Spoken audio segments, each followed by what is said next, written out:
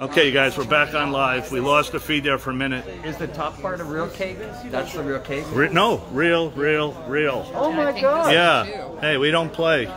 Oh my god! And Betsy decorated it. and She did a beautiful job. They put someone put Beautiful. the frosting on the bakery. beautiful She put all the flags and Oh. cutouts. And she did a gorgeous It's- job. Okay, you guys, we're back. With all the different nationalities of flags and people and the little caricatures and We're gonna, we'll do a little pre. We're gonna save our best for first. Your first, our first guest will be Mr. Vincent Paterson, and he has a lot to say. It's all a little tease. We're gonna give a little tease. So here's the cake. Hopefully the feed is good. You guys listen. Uh, so the feed went out once already. So YouTube Live as a backup on Happy Michael Jackson Day. Uh, Betsy has the YouTube feed over there. So she's down watching uh, Michael. And uh, performing in this This Is It concert. Betsy's gonna come over. Don't push it though with the Michael, or uh, we get blocked.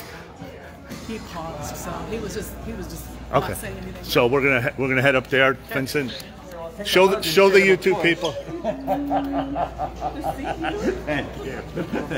YouTube, there's Vincent. Facebook people, here's Mr. Vincent. I told them we're putting the best on first, so Vincent's up in about five minutes. Get your popcorn, get your water. He said he has a lot to I say. have a lot to share today. Wow. Okay. Lot to So, share. all right. Thank you, sir. Betsy's got YouTube. If if Wendy or someone just give it to her. Okay, I'm good. Uh, I'm okay. good. All right. All right. We're gonna walk up here. I'm gonna show you the Big Al's. Uh, we got Big Al slideshow going on up front here.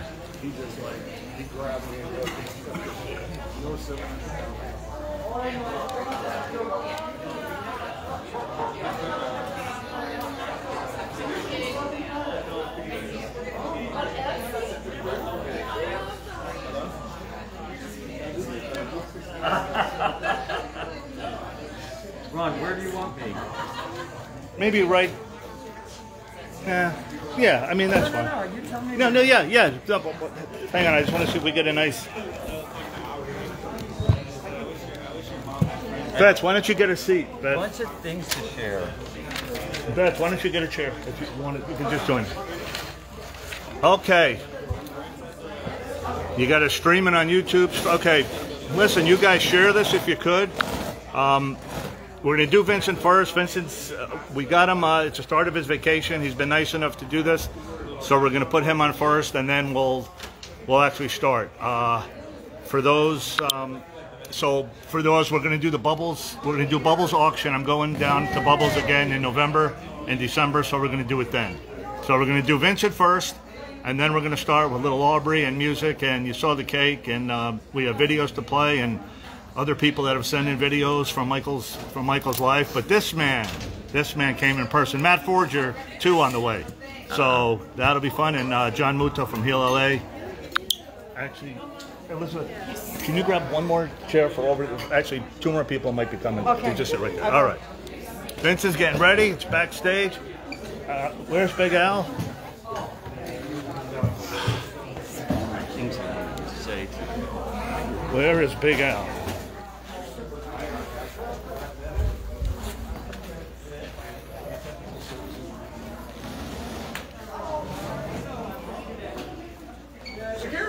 Security! Security! There's Big Al, everyone. All right. Play. No. Play the.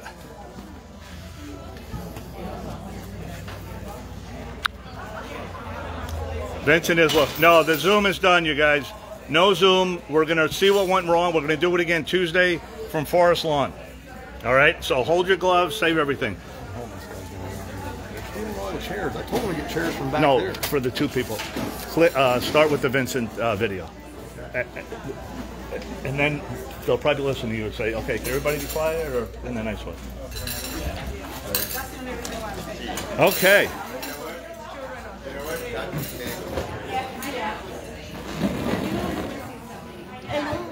Hi! Okay. Before we start with Vincent, Big Al, crank the volume. Oh, nice to see you. Crank it up. Well, she said she was going to see me today, and I thought she meant on YouTube or something. You know, I didn't know in person. Vincent, turn around for a minute before we start.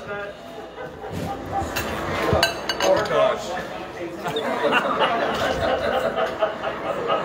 It it. We're letting it simmer, right? Right, let it build. Here's one of my many, many favorite moments of this man. All right, people, wardrobe. Cameras. We had we had Renee on the camera this day. It was the 40 year anniversary of Beat It. And there he was. Talk a little about the amazing Super Bowl. I don't know why I said that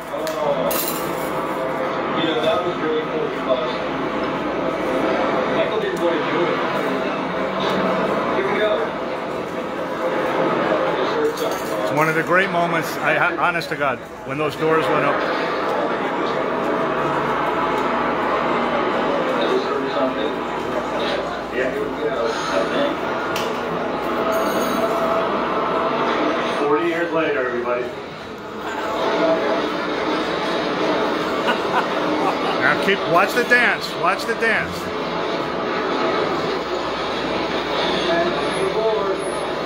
Oh my god.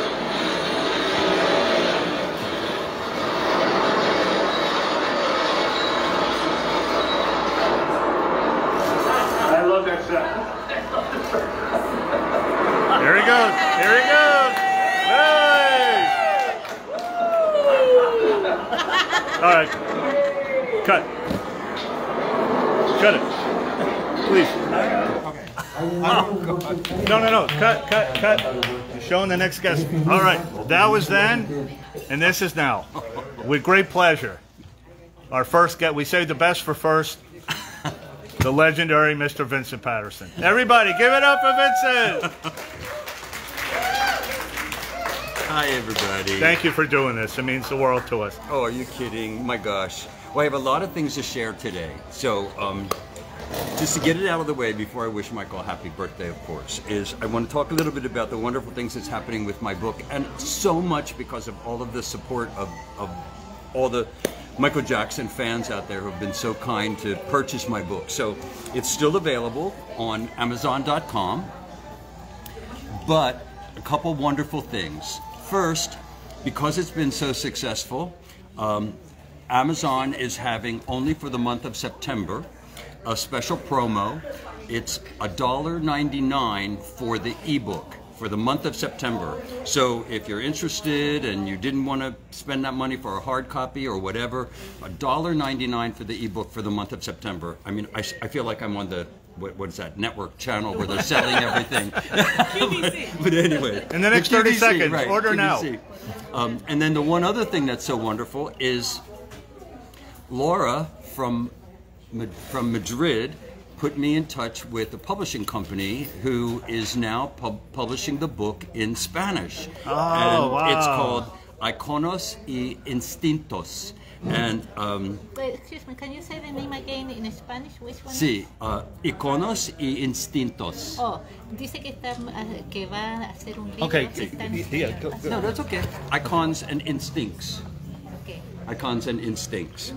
And anyway, you can purchase it now. It's ready for pre-purchase at appleheadteam.com. What a great name. Appleheadteam.com. So I got I had so many requests from people in South America. Uh, you know, I can kind of show you, but you need to show Applehead Team there. De Sudamérica, de Sudamérica. Thank you so much. Okay, esta es la gente que está de, Sí. de Sudamérica. But I had so many wonderful people writing me and asking me if I would um, get it printed in Spanish for all of Michael's fans in Mexico City, in Latin America, South America. And so I'm just so excited that Laura put this together and. Um, you know, That's it's uh, it's just so special to me. Good for you. So that's Well the next thing. I wanted to tell you. All right. Now, I have an apology from Rory Kaplan, who's a dear friend, and he was the programmer for the Victory Tour. I think he was the musical director for the Victory Tour. And he was the programmer and co-musical director with Greg Phillinganes on the Bad Tour, which I did. And I ran into him recently with Ron, and maybe some of you saw it, at the um, Analogr opening night. And it was lovely to get back with him and share a lot of stories. And he really, really wanted to come today. What happened was, two days ago, he was with a group of people, and a couple of them got COVID.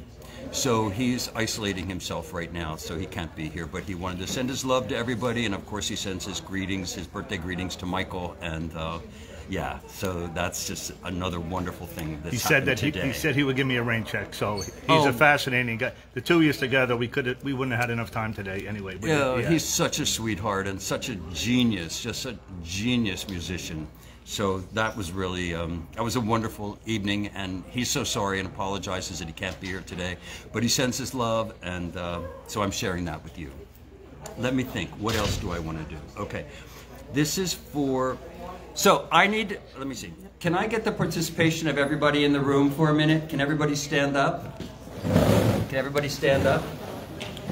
Okay, this is a little special moment because um, my mentor, Michael Peters, who choreographed Beat It and Thriller, passed away on Michael's birthday um, many years ago, almost 20 years ago, but it was on Michael's birthday, and I thought that was so amazing. So I just thought, not only in honor of Michael Jackson, but I would like to take a minute and just all of us close our eyes and give thanks for Michael Peters and what he gave to all of us through his incredible choreography and how he really set the stage for Michael Jackson being able to just zoom into that stratosphere, you know, with the first short film video, um, Beat It and the second short film Thriller. And the most amazing thing is, you know, more people have danced Thriller than any other dance in the history of the world. And this was because of Michael Peters. So I would like us all to just close our eyes for a minute and just think, we hope he's in peace. We hope everything is a beautiful place for him. And um, let's just do that and wish him good, good thoughts, okay? Here we go.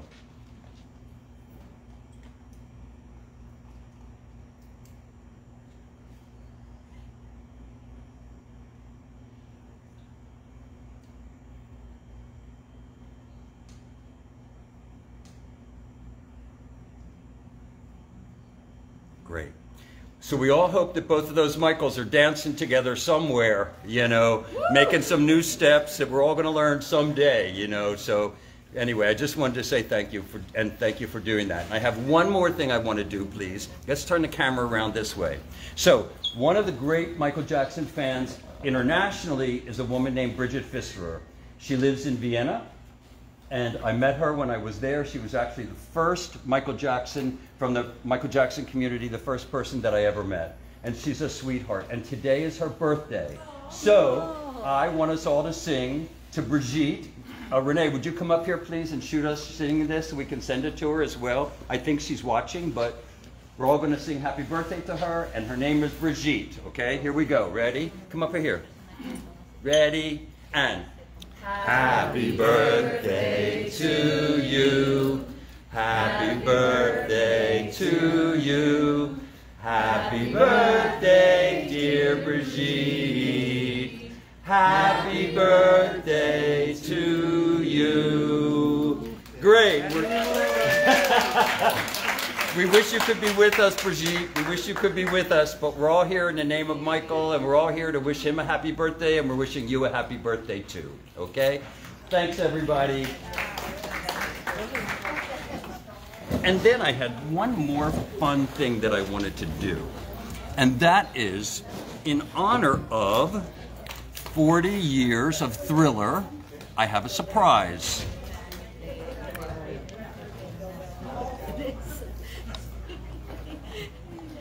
Oh my god. oh my god.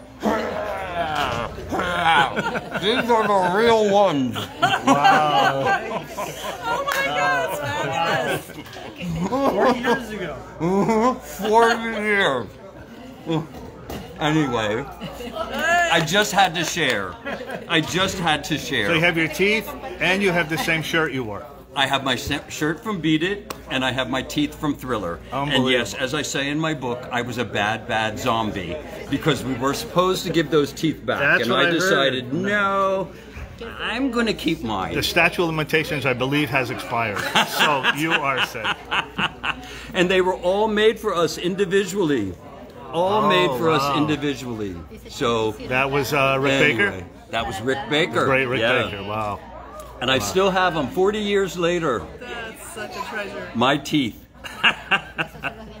anyway, Wait, as long as we're reminiscing, be- before you start, Elizabeth. Yes. Here's my favorite. I want two of my favorite people to meet each other. Here's this little girl. She's I our know we just had a spokesperson. picture together. Come, on over, here. Ah, I'm gonna cry. Look at this. So here beauty. we go. Look at this beauty. This is Aubrey, everyone. And what's your favorite video and song? Beat it. Beat it. And you know who this man is? Did he tell you? I'm He's the the, man. the Actually, maybe Big Al could put it up. Hey, Big Al, can you pull up Beat It quick? Where is Big Al? It was Michael Peters and me.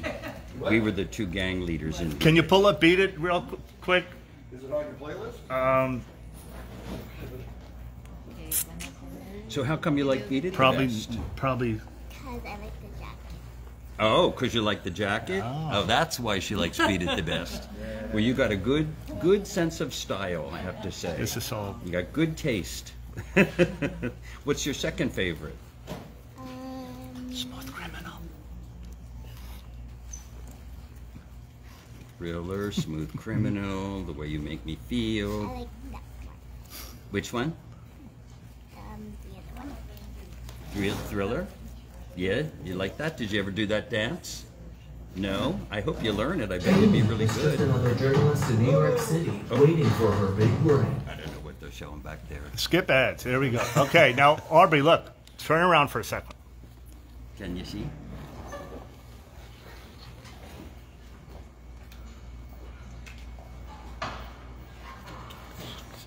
What?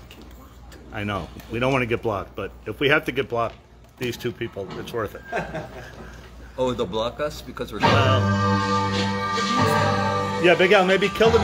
Yeah, maybe lower the music. Okay, now Aubrey. What? Yeah, yeah, keep the music low. I was young then. No, he still looks the same. Watch. There he is. There he is, Aubrey.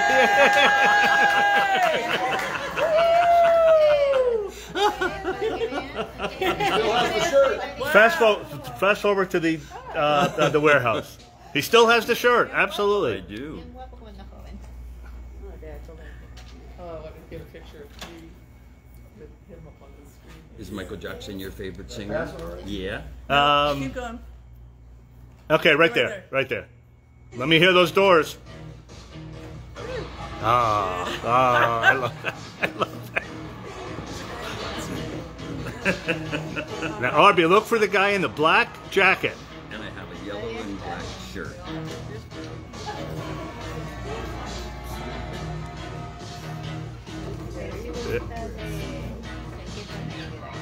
The great Michael Peters, who we just spoke about. Uh-huh. And there he is. That's him, Aubrey. And he's going to dance with Michael. Watch. Boy, you're such a tough guy. Look at you. Do you know how to do that dance? No. How come? Yeah. I bet you're a good dancer. You could learn that easily. Are we fighting in a knife fight now? Here comes Michael.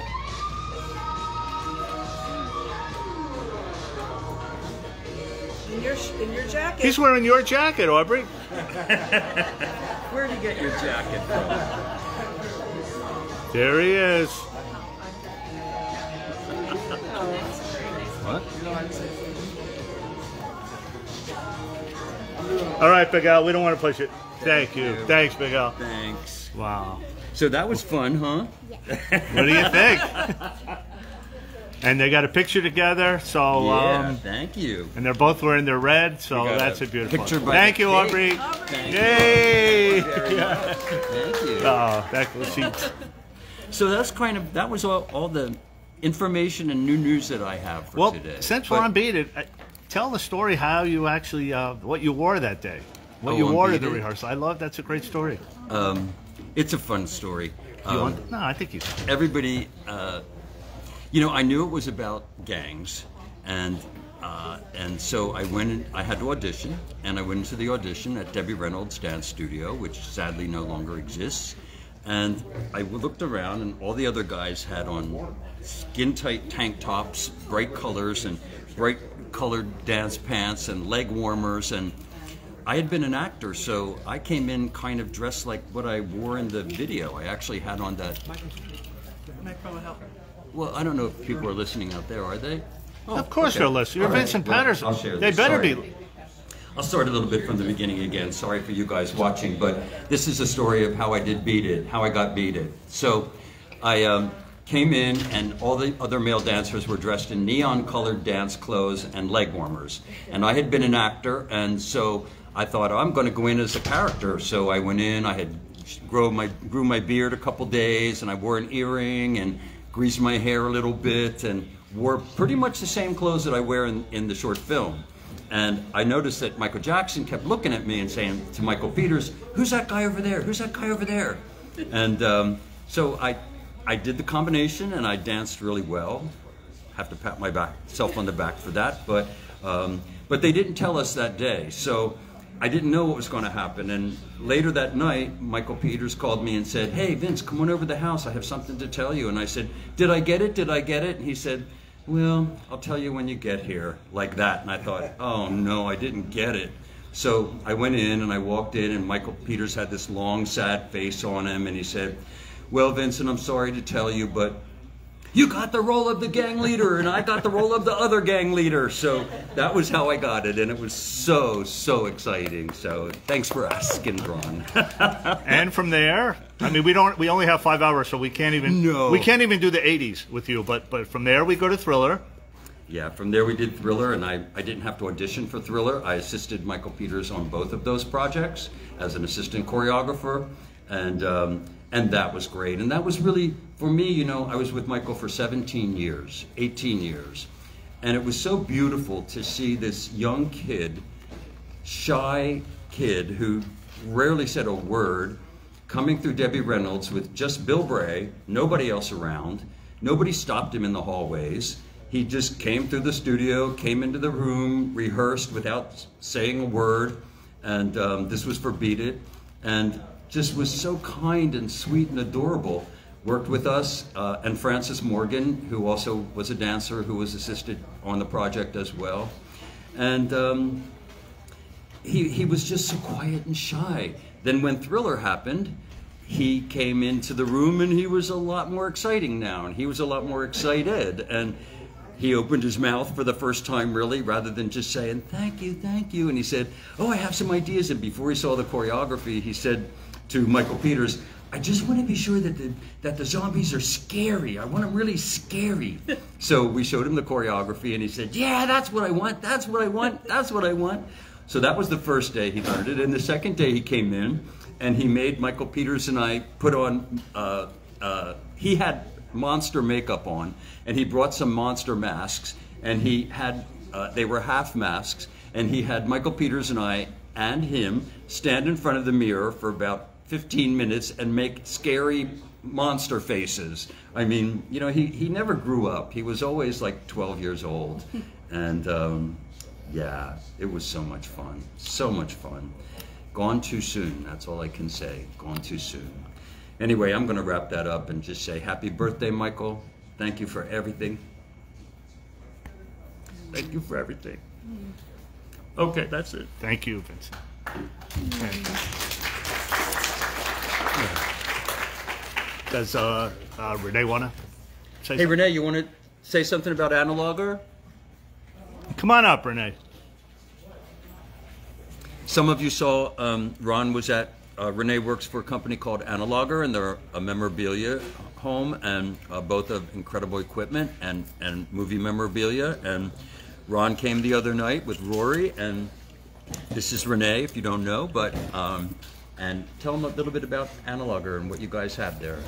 Well, Analogr, it's a mix of uh, memorabilia and studio gear that we collect through uh, very successful and le- legendary music producers, engineers, and collectors all around the world.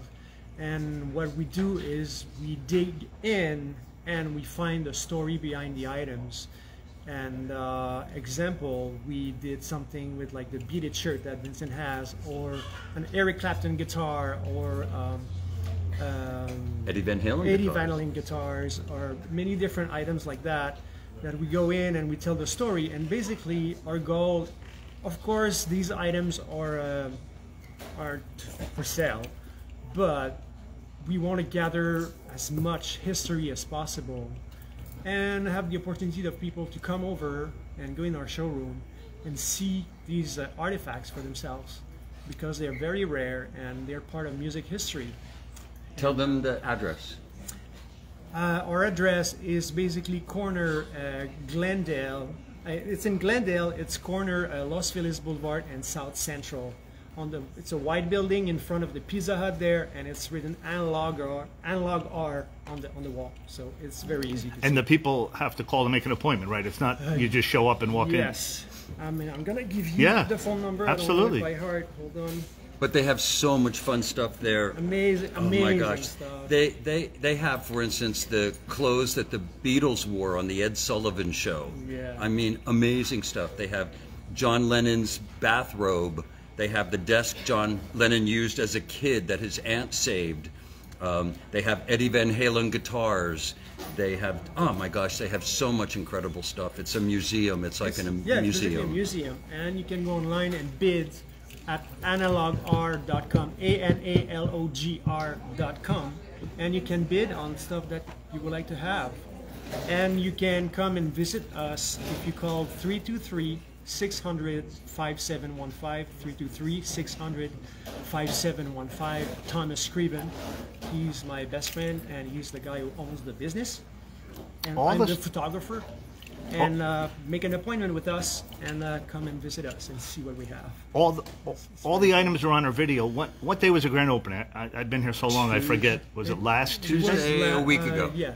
this it. past Tues- Tuesday, two so, Tuesdays uh, ago. Yeah, already. All right, I don't know that. Yeah. It So yeah, we were on for about an hour and a half. You can see the interview with Vincent and Rory. Rory, Kaplan, and Yeah. you were telling me the day before Rory was there in the back uh, playing on the uh, keyboards. Yeah, he came to Well, our you make me office to try some keyboard and stuff and do a little setup. And you know, I was doing photography at the back, and suddenly I, I started hearing "Man in the Mirror." Oh my It was like, oh my god, I got chills all over. So we went there, and he was playing "Man in the Mirror." He was playing, uh, and he started to play around the Thriller. And it's like, oh my god, it's been such a long time. So he was doing it, and it was amazing. Oh my I gosh. see that coming from uh, Michael, 15th? Okay. Michael's musical director, Yeah. Rory Kaplan. What a legend! Yeah. Amazing. That was One of, one of the things we were talking about, Rory, is next uh, next year in January it will mark 35 years since the end of the Bad Tour. Oh my God! We were saying, wouldn't it be great if we got the remaining members and oh. the dancers, Yeah. and if, if there was only a choreographer, Renee, you think we could find? you think we could find some and put it together for like a charitable event, something? that and would be incredible, would be wouldn't it? so- maybe the Jackson Brothers. Like, you know, we're just kind of throwing out stuff. I don't want to get everybody, but but so that's the plan. So that's well, the, you know, I believe you have to say things out loud that you Yes, desire, put it out so there. that you put it into the universe, and and then it comes back. the energy gets picked I mean, up who would say no That's how that? things happen, you know. You So- know, thank you for giving me that opportunity to talk about Analog R. Uh, I'm very excited about it, but today it's about Michael Jackson, Michael's birthday, and thank you, Michael, for. and we're going to sing "Happy. Birthday" to Michael. And Oh, and okay. you guys are looking at the ha- this is the happiest couple in California. I've been here many times. I'm telling you, right here, you're looking at it. Go ahead, you guys. We're going to sing. They have to go soon. So Okay, this. everybody needs to sing with us. Happy You're going to sing birthday "Happy Birthday" to Michael. Michael with us, please. Well, No, we'll just do it Yeah, here. yeah. Here we go. One, two, three. Happy birthday to you. Happy birthday to you. See everybody. Happy birthday, dear Michael. Happy birthday to you. And many more. Thank you guys both. so So we're heading to uh, vacations coming up. Uh, Yeah, we're, we're, gonna out go of to- here. We're, we're going to Big Sur and camp out for Beautiful. several days, so we're very excited. Once and- again, the book, everybody, Icons and Instincts, coming If you don't soon. have it, just you guys, you don't know what you're missing. Oh, it's a great book, yeah. book. It's I so forgot what day um, we were at the book soup. yeah, last was September. it a year ago? Yeah. Last September. So go back to September, you guys. There was a great uh, uh, Vincent read a couple of pages from it, and everybody was there. So yeah. It was great. These these two guys are always the best. They're always there for me, and uh, I love you guys both. So- Thank you, Ron. All right, thank, you. guys both. Enjoy your vacation. Everybody enjoy your time here and, and celebrating Michael and his birthday. All right. Instinct, Este es el libro Eh, que do we know if escribí is Rory here? una petición de la Not Rory. con Um, Muchas gracias. Thank you so much, guys. Thank you. Thank for you. something Give me that for a that second. for everything. Go ask uh, Roberta. They asked me sometime what happened in Los Angeles. We don't have any information. Okay, you guys. So don't have anything in Spanish. is Matt here? Okay, so that one is great. John? I'm so happy. Yeah, these, they, they just decided to do it. Not even, No? not Okay. All right. When you make that one in All right, Spanish, um. Let's play. Well, Let's the only play, um, that, I don't know if I've ever been that it will be in Oh, Spanish hold would have to be online. And it would have Hold to on. be from these people right here. Okay, él dice que si usted Hang on a second, you guys. Appleheadteam.com. Matt's here? Oh, Okay, let me Tell him take to come up, yeah. Okay. Yep, and this is the name. Yeah. Iconos y instintos, sí. Vincent, for one second. Yes. You've never met. This is Big Al Scanlon Well, from the Neverland Ranch. All the time. How good is that? We have a connection at least. We've been around. my whole. Absolutely. I, I was at the ranch for 15 years. Oh, I know. There's two of my favorite people in the world for sure. Now we're going to bring up. Okay. Thank I'll you. promote your book in, in Spanish, okay? Oh, good. Thank All you. Ron, can I have one of these? Of course. Thanks. Take one, one for Renee. Yeah, take a couple. Takes a couple for your friends. And for my friend Give them out. Thank you again, everybody. the great Thank Vincent you, Paterson. Thank you. Happy birthday, Michael. Thank you, Vincent. Thank you. Thank you so much. Next, wait. Let me just confirm that he's here.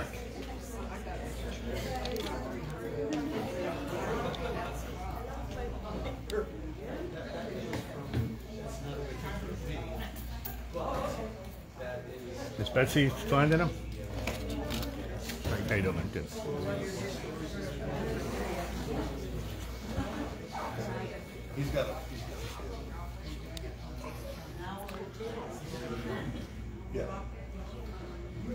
All right, we're waiting on our next guest, Mr. Matt Forger. I think he's in the house somewhere. Okay, Big Al, you can play that quick. So, this here is our next guest as soon as he gets here. Sunday of his life, what he did was he would do a juice fast, and if he was at home, he would be in the room above the garage, and he would dance, and he would dance, and he would dance the whole entire time. He would keep himself and his body in tune. Now, it is my belief that uh, dancers and choreographers are not normal mortal individuals. I meant to ask Vincent if he relate to music differently. I mean, they, they feel things they cannot prevent their body from moving. And Michael was one of those people. The way he felt Okay, it's music over, was so basically, when, if you start when you're six years old and you dedicate uh, your life to being the best that you can be, To your point, that's what he was as an artist. He was a singer, songwriter, dancer, and that, and he, he didn't separate those things even when he was in a recording studio. Okay, cut. Making his way right on cue, Mr. Matt Forger.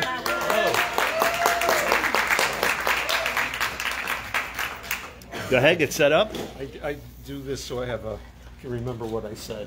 I think they want you to use the mic, Big Al.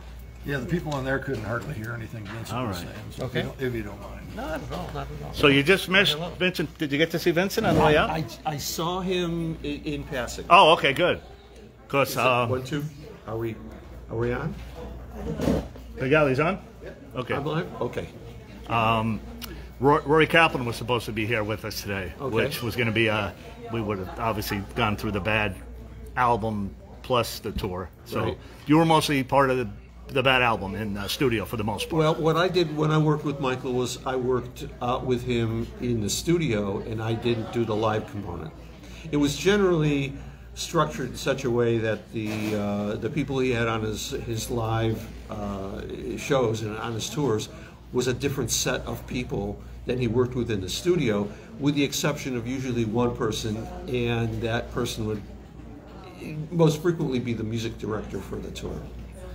you work with John uh, Barnes a lot, right? I work extensively with John Barnes. And, a lot, uh, lot of projects with John.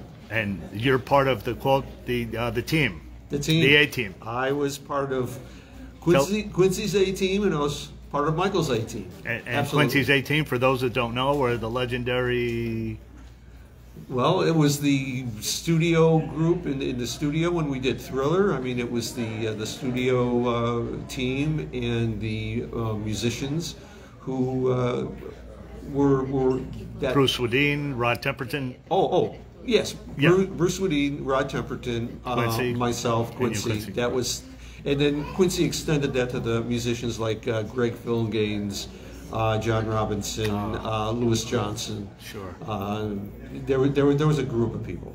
You um, you worked on the Donna Summer album right before the Thriller. Correct. Uh, I worked with the, the team. The team. Uh, and we did the Donna Summer album titled Donna Summer immediately before uh, we did Michael Jackson's Thriller. In fact, what we uh, did was we took a week off in the middle of the Donna Summer album because that was the only time that uh, Michael and Paul McCartney could uh, coordinate their schedules and be in town uh, to record uh, The Girl Is Mine. And we recorded, we tracked that song on uh, April 14th, 1982. And Quincy said, "We're going to work with Michael. You're going to love him." What what went through your mind when he like? What was the first thing you thought? Well, I had known of Michael because no one growing up didn't know of Michael from the Jackson Five because they their music was everywhere. So while I didn't uh, know Michael, uh, that was the first. That was my meeting him for the first time, which was he, there wasn't a whole lot of interaction that day because he was focused on the track, he was focused on the girl Mind and the musicians. Uh, so he was focusing on that, and I was focusing on doing what I did because I, and Thriller, of course, I'm credited as being the technical engineer, so I was in charge of the technology. And uh, he noticed me across the room, but we didn't have a chance to actually chat and talk that day. You were you were part of uh, Thriller, Bad, Dangerous, History, and Blood on the Dance Floor. Yes, and Captain EO. Captain EO in the middle. I, I kind of want to talk to you about that, but Captain EO doesn't get a lot of. Uh, and you were instrumental in bringing it to uh, uh, the Disney World, correct? Uh, correct. Wow. Uh, Captain EO was exhibited in four places. Uh, Disneyland in Anaheim, Disney World at Epcot in Orlando, uh, Euro Disney outside Paris, and then uh, Tokyo Disneyland. I was there opening night in Florida. I stood on line. They handed out the pink glasses when you walked in. You had to walk around back. You had to wait on another hour and a half line, which we gladly did. We never saw the 3D before. You're reaching out where you could touch the like like it was it was an unbelievable experience. You know, with the glasses on, Yeah. we didn't we didn't know what to expect. Not to mention the music was you know phenomenal. Uh, you know, another part. I mean, the whole you know the the, the uh, Well, it was. I mean, and that was a great uh, collaborative uh, uh, effort because uh, the team of people that uh, contributed on uh, Captain EO. I mean, you had uh, Disney, the Disney Imagineering, um, Francis Ford Coppola directing, decent, George Lucas Okay, producing, all right. and Michael Jackson Hmm. and his music. So, what an enormous uh, and it, it talent had never been it had never been seen before, right? So what, what were the expectations? What what what is? I mean, we knew it was going to be good, but Well, I don't know what anyone's expectations were. I just knew that I was working really darn hard, uh, putting in long hours, making it the very best it could be, because that's what you did when you worked with Michael Jackson. Uh, you know, everything was up to the Michael Jackson standard of being the very best. And uh, I didn't realize quite how big it was until I went to the premiere in Anaheim, and the park was just, it was jammed, it was packed. And, and there were all kinds of uh, people there. And once again, it was that same situation. There was a long line to get in to see it. Uh, and uh, seeing it in the theater was a real experience in, in seeing the reaction that people had to it. This is my friend uh, Betsy here. She's on YouTube. We, Hello, we, Betsy. of course, we love the Bad Tour. Yes. But we love the Victory Tour. Victory Tour. And talk a little about the Creton people, which a lot of people don't uh, may not know the stories, who they were, and What uh, happened, uh, I worked uh, with uh, Bruce Swedien and Michael on the songs that Michael did and contributed to the Victory album. Uh, and of course, State of Shock, and Be Not Always. And then uh, they started talking about they were going to put together uh, a tour, uh, the brothers, and uh, we're getting the whole band back together. They were going on tour for the Victory Tour. And the musical director, uh, Jai Winding, uh, said, oh, I'd like to work with you uh, in finishing up what we're going to have as the opening of the Victory Tour. And of course, I agreed. I said, sure, whatever I can do. And he said, okay, well, we've got a few things we've got to record, and then we're going to have to mix it. So what we did was we worked in the studio on finishing uh, the recording, and the recording included uh, the narration of the story. Uh, the story being about the the uh, kind of in a in a kind of long ago in a distant uh, galaxy far away. Uh, there, we- it was a, uh, a setting of a world, and there was a world that was dominated by uh, what were the Cretons. The Cretan people. The Cretons are the big overlords. And um, the story, uh, which was narrated, was one of uh, the people who were uh, dominated, uh, fighting back against the uh, the overlords. So uh, they had uh, uh, the action on stage was acting out the uh, the narration for what the story was, and. Uh, uh, I found out later that the person who was acting as the Creton was actually uh, Michael's uh, kind of kind of his right hand person, uh, Nelson Hayes. That's who, who the the bad guy was, as the Creton. And they had a battle with lightsabers, and uh, this was all done to the to the music and the narration. And uh, it was really exciting when I got to uh, see the, uh, actually see it in person at uh, Dodger Stadium. the last four shows. I mean, the la- that was the last stop. I, I remember It- it going was. for all four shows. Oh, yeah. okay. Yeah. I, uh, Yeah. I, I wasn't. My His family came sure up on to- stage to, and- where it was, but um, I had tickets and I was in the audience and I sat between Dick Clark and Bruce Swedien. Wow, decent. Uh, that, that was that was a that was a thrill too because I was in the I guess I was in the VIP section.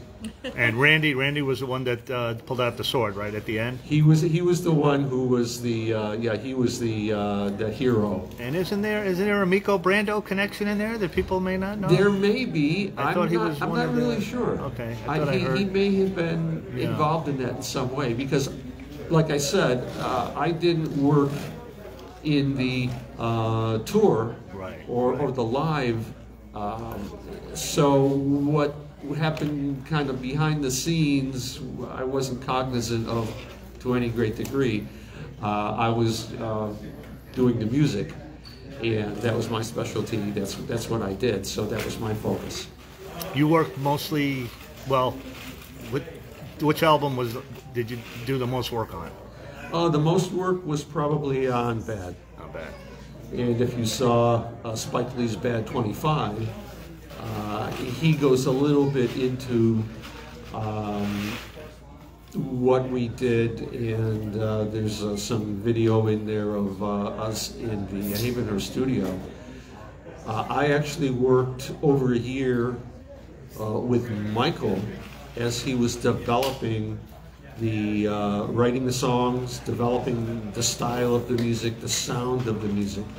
And uh, I worked with him for over a year before Quincy and Bruce came on board on the bad project. And then they, of course, were working at Westlake Studios. So Michael had two sets of, uh, he had two, two complete different studio operations going, which was which is a lot of fun because uh, I I got to work with Michael and uh, basically do the recordings of the songs, uh, and uh, then the, of the songs that I did with Michael. Then when it went to uh, Quincy and Bruce and the other team that was at Westlake, then they had to copy what we had originally done. They re-recorded it with Quincy producing, and uh, I got to have all the fun though because I got to I got to do the exploration and discovery and uh, development of, of Michael and his sound and what he was creating. It sounds like it was it was fun going to work every day for you. It it always was. I mean, this is what I I moved to Los Angeles from upstate New York uh, to pursue a career working in recording studios because I had mixed live sound. And uh, I always wanted to uh, move to Los Angeles, work in recording studios, and understand what went into making hit records and, and what made the songs and the recordings special. Because growing up, it was one of those things where you'd be you'd be a young person, and of course, everyone listened to the radio at that time. And uh, you know, there'd be several songs, and then there'd be one song that would come on that would really excite you. Really say, well, "This is a great song." Well, my the question in my mind was, what makes that song different than all those other songs? Those other songs are good, but this one is great. And that was my quest, was to be able to work in the studio and uh, find out what the magic was and, and why great songs were great. And you, you worked at uh, Westlake Studio, right? That was one of your first uh, Yes. trainee, tech trainee kind of. What I did was I moved to uh, Los Angeles and I got a job as a technician trainee for uh, Westlake Studios, which was perfect for me because what I wanted to do was I wanted to learn the whole recording studio side of things and I wanted to know the behind the scenes, the what went on in terms of um, the studio design and the, the, the, the equipment. I had been using, uh, you know, sound equipment for a long time, mixing live, but it's a different application when you're in a uh, recording studio. Even even if the equipment is the same equipment, it's a different uh, procedural thing. Uh, recording and mixing. And it's the technique and the equipment is applied in a different fashion. So I wanted to understand it as best I could. One, one of the Facebook viewers says, I don't know if you know, how did All in Your Name come about? I don't know if that was you. All in Your Name? One of his songs. I'm not familiar with that title. Yeah. Talk about one. so- Today we're doing "People of the World," which was the song that Michael, the earthquake for uh, the Japanese um, earthquake. He, it was a demo for him. He never finished it. It's a beautiful song, so it's going to be our theme: all the flowers and people of the world. One of the other songs, "Scared of the Moon," doesn't get a lot of. Well, it's not really released, right? Technically, it's a it's well, a demo, it- but it's out there and people have heard it and everyone loves it. And it's like, how, how close was it to being complete? Do we do we? Well, that was one of the things that uh, would happen to me. I'd get a phone call, and uh, you know, Michael would want to come into the studio and record a song, and he was always writing songs. So I'd get these calls to show up at the studio, not even knowing what the nature of the song would be that we'd be addressing.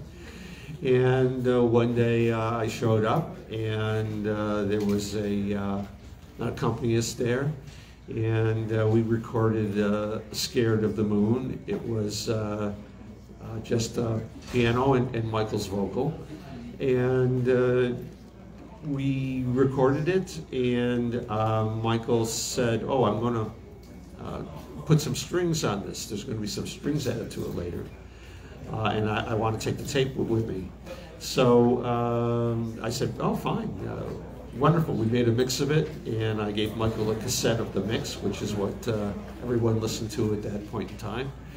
And uh, then he took the multi-track tape with him. And then uh, a few weeks later, I got a call from a recording studio. And they said, Well, we're here in the studio, we've got the orchestra, and uh, Michael has a cassette, but we want to know where the multi track tape is so that we can do the actual real recording of the strings uh, to the multi track. And I said, Well, I'm sorry, but Michael took the multi track tape with him. Uh, and he goes, Well, all we have is a cassette. And I said, Well, then I'd say bounce the cassette to the multi-track and record against that because I don't I don't have the tape. I don't have access to it. I have no idea how to locate it. And uh, that's what they did. And uh, that is what became the uh, Scared of the Moon version that had the strings on it. I get a I get an ET vibe kind of when I listen to it, like like ET storybook kind of. Well, Michael was working on developing a uh, a larger project, uh, relating kind of as a, as a child's uh, storyline, and the actual song "Scared of the Moon." At the time, uh, he was dating Brooke Shields, and Michael told me the story of the song and that was Brooke Shields' younger sister was frightened when wow. she would see the full moon in the sky. Oh my God. And so when Michael heard the story from Brooke Shields, uh, he that triggered in him the idea for the song. So the song was really written about uh, Brooke Shields' younger sister. Wow. It is, it is, a, is a kind of a a child fantasy world of, for whatever reason, I, I have no reason why she was frightened of the moon, but that's the way the story was told to me. And I know Michael said, you know, he intended to, at some point, he wanted to be able to expand on that, not just being one song, but uh, being a more uh, extensive uh, collection of, of songs and stories. Unfortunately, uh, that didn't ever uh, come to be, but it was a lot of fun to do. And it, was kind of uh, an interesting thing is when uh, I met Spike Lee and we had the uh, first uh, pre-production meeting, and I was meeting Spike we were discussing different songs, and there were a lot of songs that we had worked on that hadn't been released. And Spike said, "That that's really good." And he turned to me and he said, "By the way, did did you record Scared of the Moon?" I said, "Yeah, I did." And he jumped up out of his chair, and you know he was he, not that far away from me, but he took a couple of steps to me and gave me a giant hug, and I was just. I, I was kind of shocked and surprised. He said, That is my favorite song by Michael. And I said, that really, that really makes me feel good because it's it holds a special place in my heart as well. It's it's so to me it's so representative of Michael.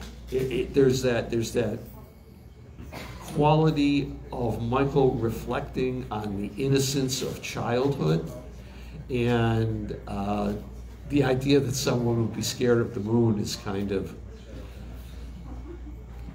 it's it's it's something that I don't think many children think of.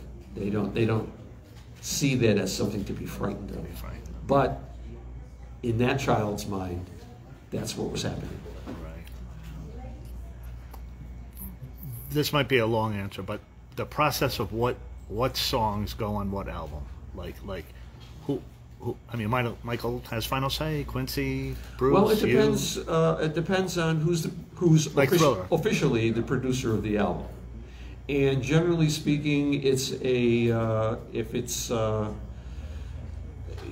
if it's uh, like a thriller and, bad, of course, uh, off the wall. Those were uh, produced by Quincy, and Michael co-produced his songs on, on those albums.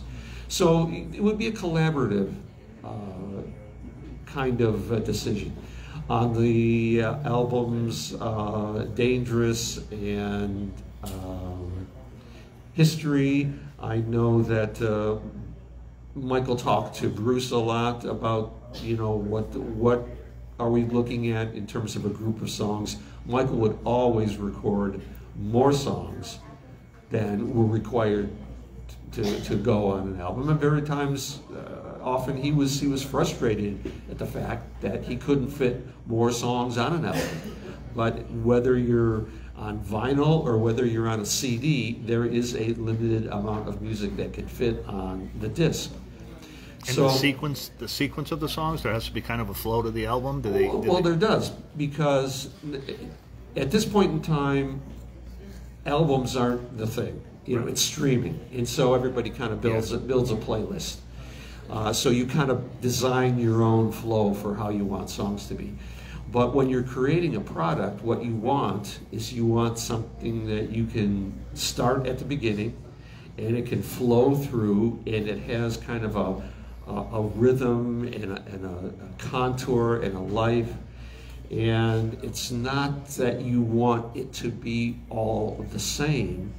The ideal thing is that you want it to be a, a roller coaster ride. You want the energy to to change and to shift, and you want the songs to be able to flow into one another, so that when one song is finishing and the next song comes on and pops up, it's like yes, that's you, you, you've turned a corner. You've got you've got a different kind of energy, a different kind of feeling coming at you, and it, it engages you.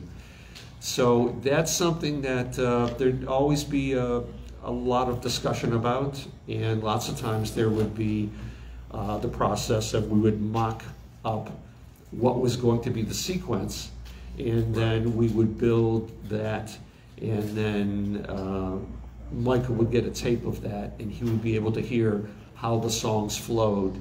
And uh, he would take that home and listen to it, and then if there were changes to be made, If I'm not mistaken, one at least on the cassette, "Wanna Be Starting Something" was the first on, I believe, side A, and then on side B, I think it went "Beat It," Billie Jean, "Human Nature," I believe so. PYT, "Lady of My."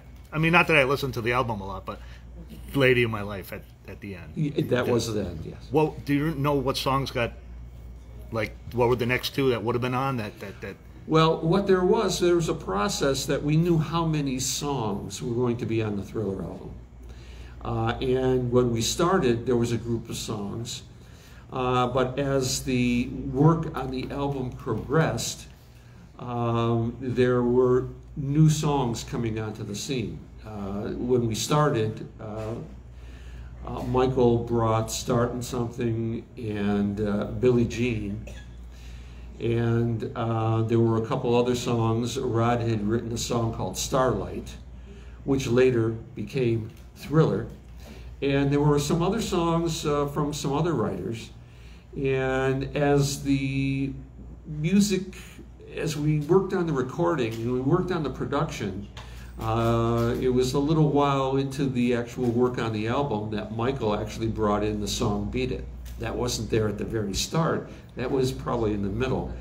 And then we started to see, uh, especially Quincy, who was very sensitive uh, to, he was a, he, he has produced so many successful albums. Uh, he recognized uh, where things were going, as did Rod, and they said, you know, this, the the character, the nature of the Thriller album is really going to an edgier, uh, you know, not not not harder, but a little more intense kind of energy, and that is when uh, the the focus of the songs became really critical. Um, we had, of course, "The Girl Is Mine," which was a very light pop type of song, and there were several other songs we were working on that kind of had a light pop character. Kind of off the wall, like kind of carryover from Very, the very, very much in, in uh, keeping with the, the nature of those songs. And um, then everyone started to see how things were morphing, and it was like the album had a life of its own. It, it, and these songs, uh, all of a sudden, uh, these songs started coming together in such a way. Um, one of the ones uh, that uh, Steve Porcaro tells the story of, and Quincy tells the story of how uh, human nature, human nature was a complete accident. Uh, because um, the two guys who were master keyboard people, uh, David Paich and Steve Porcaro. Steve Porcaro was an amazing uh, synth programmer and technology whiz, and David Paich is, is a, a, superb performer. So they would always work together as a team, and they would we, they worked quite extensively with Quincy on, on several albums. So David Paich had written some songs uh, because Quincy said, you know, if you guys come up with anything, I'm really curious to hear uh, what kind of songs you come up with. And David, being the writer, he had written several songs. And when it came time for him to put them on a cassette to give to Quincy, uh, he didn't have a new cassette, and he grabbed this uh, old cassette that was laying around, and uh, it was a saw. It was a cassette that Steve had been uh, using. And so uh, on side B, uh, David Paich put his songs that he was submitting to Quincy. And when Quincy was in at home and he had it in his cassette machine, uh, he was listening to David Paich's songs as he was working on making some notes. And he wasn't really focusing on it. And uh, back in the day, if people know cassettes and they're familiar with them, they had cassette machines that instead of having to take the cassette out of the machine and turn it over and then put it back on, they had cassettes that would auto reverse and they would automatically play the other side. So what happened was Quincy wasn't even paying attention to the machine. He left it running because he, he was working on some other things. And it switched sides and on came this song that caught Quincy's attention. And he said, wow, this is good. This is this is I, I this is great. I, I, love this song. So he called David Paich and he said, David, I love that song, that why why why song. And then David Paich is completely caught off guard. He doesn't know what Quincy's talking about, and it takes them a little while to figure out that, that what Quincy loved so much was a demo of a song that Steve Porcaro had written. Now, Steve, when Steve Porcaro tells the story about the song, uh, he had a young daughter, and his young daughter was in school. And uh, there was a boy that his daughter uh, liked, but it seems that the boy was not treating her well, and he would hit her and, and annoy her. And she said, "You know, I like this this boy, but he he annoys me." he he it's it's not like he likes me it's like he doesn't like me and so steve being the father that he was explaining to his daughter well this is how sometimes how you know people when people don't know how to express something they they kind of act in a different way. He goes it's just it's just human nature. It's just the way people act. Now to me what my understanding of the dynamic that was occurring was the fact that Quincy was triggering off of this completely sincere, honest, emotional quality that Steve was expressing in this song, and the song being about the situation with his daughter and what dad doesn't have a, a close relationship with their their their daughter so it was it was from, from Steve's heart. This, this wasn't something that he was writing thinking, oh, I got to write a hit song. He wasn't even the guy that Quincy said, write some songs for me. He, Quincy had that conversation with David. So it was when Quincy heard this, I think it's that that honesty and that sincerity and that feeling because everybody knows, and I think everybody here will agree, that when you hear human nature, I mean, the emotion in that song comes right across. And uh, from there, they brought in um, um, Bettis, uh, John Bettis, uh, to help uh, complete the lyrics.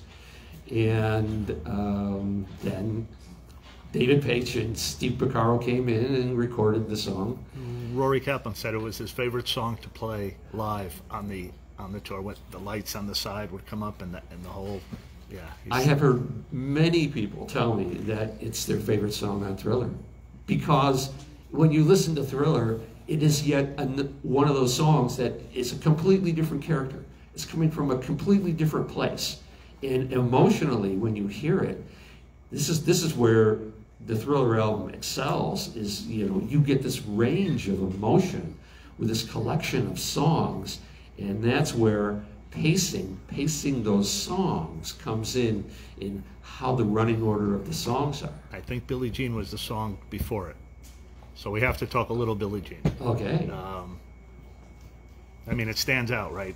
Uh, It's Yeah. It, it, it, it, it stands out in a big way. Yeah. right. when you Um, first heard it, what was your first? Uh, Uh, well, the songs that Michael brought in, uh, starting something and Billie Jean. I mean, when I heard both of these songs, it was like I was hearing something, and of course, this is now hearing Michael's demo.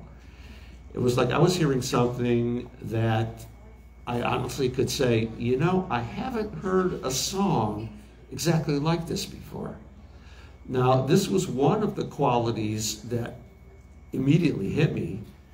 And one of the things uh, when we worked on Billie Jean, uh, I think that was one of the things that Quincy had, had a little bit of uncertainty about. you hear that story? I didn't know if it's uh, true. Well, but- it's it's he he didn't not want it on the album, but he had a little bit of uncertainty.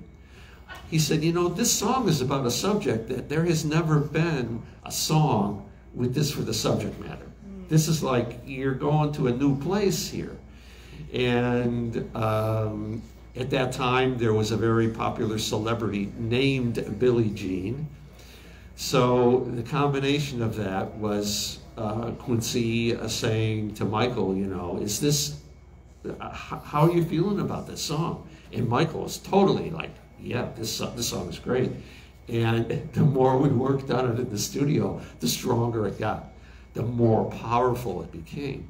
maybe just the message Quincy was thinking, not the actual hearing. Well- hearing that. I mean, because you hear it, it's like, It, it is, but when you, when you hear something in its raw form and you're trying to imagine what are we going to do and to take this to a completed place, uh, Quincy is going to play, as they would say, the devil's advocate, and think, well, is that uh, is that going to work? Is this going to be, you know, great? And once once we got the song well underway in the studio, there was no question. Quincy was totally on board. Uh, we we all agreed the song was just phenomenal, uh, phenomenally strong and powerful. And Michael sang all parts, right? Uh, He, s- he sang all the backgrounds. Yes, he, sang, he sang everything on that song, and uh, that was a that's a, an incredible experience because when Michael comes in to sing, he knows exactly what he's going to perform. He knows exactly the character he's going to use, how he's going to deliver it, how he's going to play the ad libs, how he's going to do all the parts. Every hiccup, every tee hee, Every single one. He he in his mind he works out. In fact, as a recording engineer, when you record background vocals, what you do is you do what's called doubling. Now, when Michael sings his harmony vocals, his harmony vocals are doubled to make them sound fuller and thicker. So what you do is you sing the track the first time, you sing that part, and then you sing it a second time. And when you're listening to it on your stereo or in your headphones, the first time he sings it is going to you're probably going to hear it on your left hand side, and the second time he sings it, it's going to be on the right hand side. Then when he does his next harmony note, he sings that next first one, that's on the left side. The second time he sings that harmony note, it's on the right side. He's doing this intentionally. Exactly. And when you have these spread in stereo, and then you you hear the full thing, you get the richness and the fullness and the power, and it's it's big. The size of it is big. And Michael knows exactly when he walks into the room what track he's singing, where in the finished mix every tee hee, every hiccup, every little tiny accent ad lib is going to be in the stereo field because in his mind he knows exactly the way it's going to play out. This is the way Michael's mind works. He understands music at a level that he knows walking into the room after he completes his performance, he knows exactly what it's going to sound like because he has it all planned out ahead of time and practiced. Which leads to his work ethic. Oh, his work ethic is incredible. It's better than anyone I've ever worked with. In fact, uh, there's a story about the uh, uh, the little uh, voice when he sings the uh, "Don't think twice, do think twice" line of the song. And what it is is uh, the day that Michael was going to sing background vocals. Uh, Michael walks into the stu studio, into the control room, and he's carrying a, a, mailing tube. You know, it's that kind of tube that's about three or four inches around, and it's about two and a half, three feet long. It's what you know if you order a poster, it's what they send you the, the poster in the mailing tube. So he's he's got this this cardboard tube in his hand, and Bruce says, "What have you got with you today?" And Michael goes, "Oh." this is this is what I sing that line in the middle of the song with. And Bruce's eyes lit up and said, Wow, great idea. He goes, Matt, you got to go. You got to put up a microphone uh, on the side. So my, when Michael sings that line, you know, we got the microphone in the right place. So I had to set that up. But that was Michael understanding that he wanted a differentiation of those two lines so that it was as if there were two different people. And the way it was, I envisioned it is if you've ever seen cartoons and you see the cartoon and on, on one shoulder you see a little devil and on the other shoulder you see a little angel. And the little angel is saying, now be a good boy. And the little devil is going, no, you got to get into trouble. so it, it was kind of like that contrast. And in my mind, I'm, I'm picturing, you know, that's what I'm picturing is happening is there's a there's a, a little voice saying now you got to be good and you know, there's another voice saying no but that's what he said mother always told me uh, do think twice don't think twice it's that contrasting of that and michael wanted the contrast between uh, those two lines as if it was these two different entities uh, talking to him. What did what did you learn from him that you carry forward in your own work or? I learned so much. Uh, it's it's there is such a an enormous uh, amount. Uh, I was once asked that question by uh, a friend who was a studio technician, and I said, "Well," he said, "What did you learn work, working with Bruce and Quincy and Michael and you know in the studio?" And I said, "Well, what I learned was I learned all the other stuff. And especially from Michael. Uh, when we were working at Westlake, uh, we had done uh, Captain EO. And after we had finished the Captain EO music, the recording of it, uh, we started on songs that were going to be used for Bad. And uh, we worked for about a month before Michael's studio at Havenhurst was completed and we were able to work there. So the first day that I walked into the Havenhurst recording studio, and I walked in the door, and you walk in the door, it's on the side of the control room. On the wall that you face, on the opposite side of the room, there is a quote, and the quote is from John Lennon. And the, the quote basically says, When I am writing the great songs, the great music, the music of the spheres, uh, I do not feel that I am responsible for, for this music, but I feel that I am merely a channel through which this music is coming into the world. And I walked into the room and I read that on the wall and I just smiled and I said, this is going to be fantastic. This is going to be great because although I had never heard that quote from John Lennon, and I was a Beatles fan, so I, I, I loved, you know, all the Beatles songwriting, but I totally got what the quote was about, and I understood that that was where Michael was coming from as well. And I just said, I know this is going to be fantastic. This is going to be a tremendous experience. Uh, you know, this, continuing this work and working on these songs uh, in, in, as we approach the bad project. And this was the kind of thing that was the behind the scenes thing. Uh, there was a lot of time uh, when you work in the studio where it's between, uh, you know, doing this or doing that, or you're taking a break. And um, when you sat in the Havenhurst control room and you looked through the glass into the studio room, on the right hand side there was an upright piano. And on the opposite wall from that, there was another quote written on the wall. And this was a quote from Thomas Edison. And the quote was it's a very famous quote of Thomas Edison's where he says, Success is 1% inspiration and 99% perspiration.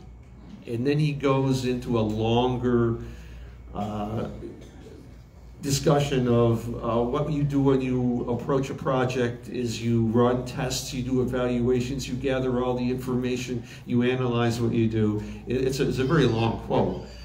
But uh, Michael, when Michael told me, you know, he was a, he was a fan of Thomas Edison, I said, well, of course. I mean, I, I, grew up reading the biographies of all the guys that were the inventors, like Thomas Edison and Henry Ford and Alexander Graham Bell. And, and this is what Michael did. Michael studied everyone. He, Michael studied everyone that had reached a level of success, not just in music, but in, in art, in science, in, in industry. And uh, we used to talk, we, we had discussions about these people.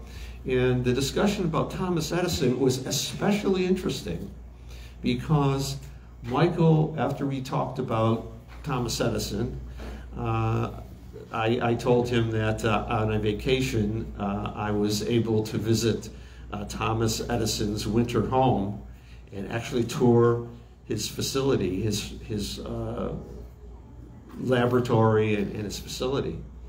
And Michael said to me, You know, Matt, the entertainment industry owes a debt of gratitude to Thomas Edison, and it has never been acknowledged.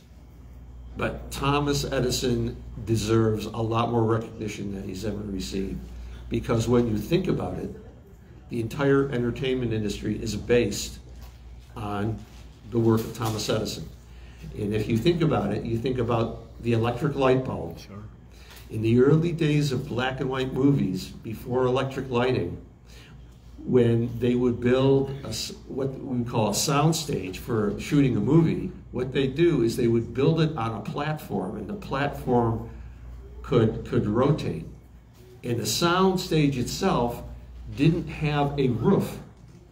And as the sun traversed the sky, the turntable they would move so that the lighting would be consistent on the actors that they were filming.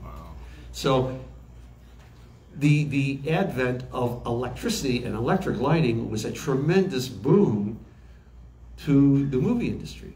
And then you have the moving picture, which of course Thomas Edison was also instrumental in. And thirdly, you have sound recording. And everybody knows Thomas Edison is the person who invented the phonograph. And the first thing that Thomas Edison recorded on his phonograph, people may not know what it was, but it was Thomas Edison's voice recording Mary had a little lamb. Her fleece was white as snow. Everywhere that Mary went, that lamb was sure to go. That was the very first sound recording in history. So you combine the electric light, motion picture, and sound recording, and what do you have? You have the entertainment industry. So without Edison moving these these these inventions and these developing these things, there there wouldn't be an entertainment industry. And Michael was just feeling that Thomas Edison has never gotten his what was rightly due to him in terms of uh, recognition. We would never even think of that, right? Like, No. like the average person would, that never crossed my mind ever. Like, No, no, that is something that you wouldn't think Right. of. But this is the kind of thing that, you know, Michael and I would get study into the discussions and about. become greater. He always said that. He did. And one of the things that he said about Thomas Edison that he felt was Thomas Edison's greatest invention, greater than those three things, was the invention of, of what he called, excuse me, what he called the research laboratory, where you gather together experts in their field and they work together and they collaborate on creating whatever the project is that they're working on. Now, Alexander Graham Bell is very famous for this, and Alexander Graham Bell and Thomas Edison were good friends. And everybody's probably heard of the thing, the Bell Labs. Uh, the Bell Labs was one of the most famous research uh, laboratories in the country because it was the Bell Labs where they developed the transistor. And tra- the development of the transistor led to the development of the integrated circuit, the chip. So, in Michael's mind, the research laboratory was one of the greatest inventions in, in- in mankind because of the advancements that it allowed in technology and advancement in society. And, which is why Michael liked to call the studio, especially his studio, he called it the laboratory because Michael loved to explore and and discover things, and that was one of the things that we were always encouraged to do. You were, you were the scientist. You We were. Bruce That- and, and, and, and, and Rod and that that we, we all were. And anyone that worked in, that's what Michael viewed it as, and he always was very encouraging too about developing things, new things, something that people haven't heard yet, uh, something that's new, that's fresh, a new, fresh idea. That's what uh, that's what Michael's wanted his music to embody, and. and I, I myself, I mean, this is why Michael and I developed such a, a great relationship, is because uh, I was that that was that was in my blood too, being a, a exploration and discovery of, of things mechanical, electrical, electronic, musical. Uh, I, I grew up uh, being that same kind of person. you were at the Quincy Jones 90th uh, celebration, right? Yes, I was. It was basically a it was basically a tribute to Michael Jackson, was it not? There were eight songs were Michael's. Yes, no, it was tremendous, and I had to tell you the the moment at uh, Quincy's uh, uh, 90th birthday celebration at the Hollywood Bowl, the moments that absolutely uh, it, it took my breath away. I mean, they were playing a lot of songs, but when they would play a Michael Jackson song, The buzz. and the audience would sing Absolutely. along. Absolutely. Now, there's what, 20,000 people in the Hollywood Bowl? I could, I could swear 10,000 of those people were singing along. Absolutely. And whatever the, the, you know, Rock With You or Starting Something or whatever the hook of the song was, eh, the audience would, would join in and was like, oh my gosh, this is, Well, you had Greg, you had John Robinson. Like it almost felt like a you know like a Michael band oh yeah, reunion yeah. type of it was, thing. it was a great group of yeah. musicians. And then And- and- Stevie walks out and like oh my god. It was it was a tremendous night, and the experience of, of being there was absolutely wonderful. Oh, so what are you doing now with your? Well, I uh, am continuing uh, working in music. I work with uh, some independent artists, um, and there's a couple projects in development uh, that I'm working on in terms of uh, there's some uh, couple movie projects that you know people are putting together, and uh, they're they're these are vehicles that are, are music driven. So I'm working on the musical end of, of these things, and uh, I have uh, uh, some projects of my own that, that I'm working on. I'm trying to do more writing and, and get more stories uh, together about some of the things I've experienced in my life. Keep us posted. It was nice meeting you. We never met. Um, we could do probably you know 20 more hours with it or so much. Well, yeah. So This is- anytime you want to talk, I want to listen. Okay, Like, Rod. yeah, well, this is this is great meeting you as It's well. nice meeting you too. So thank you for doing this. We Okay. appreciate it. Well, All right. thank you. Thank. Okay. Thank you. Thank you, Matt. Give it up for Matt, everybody.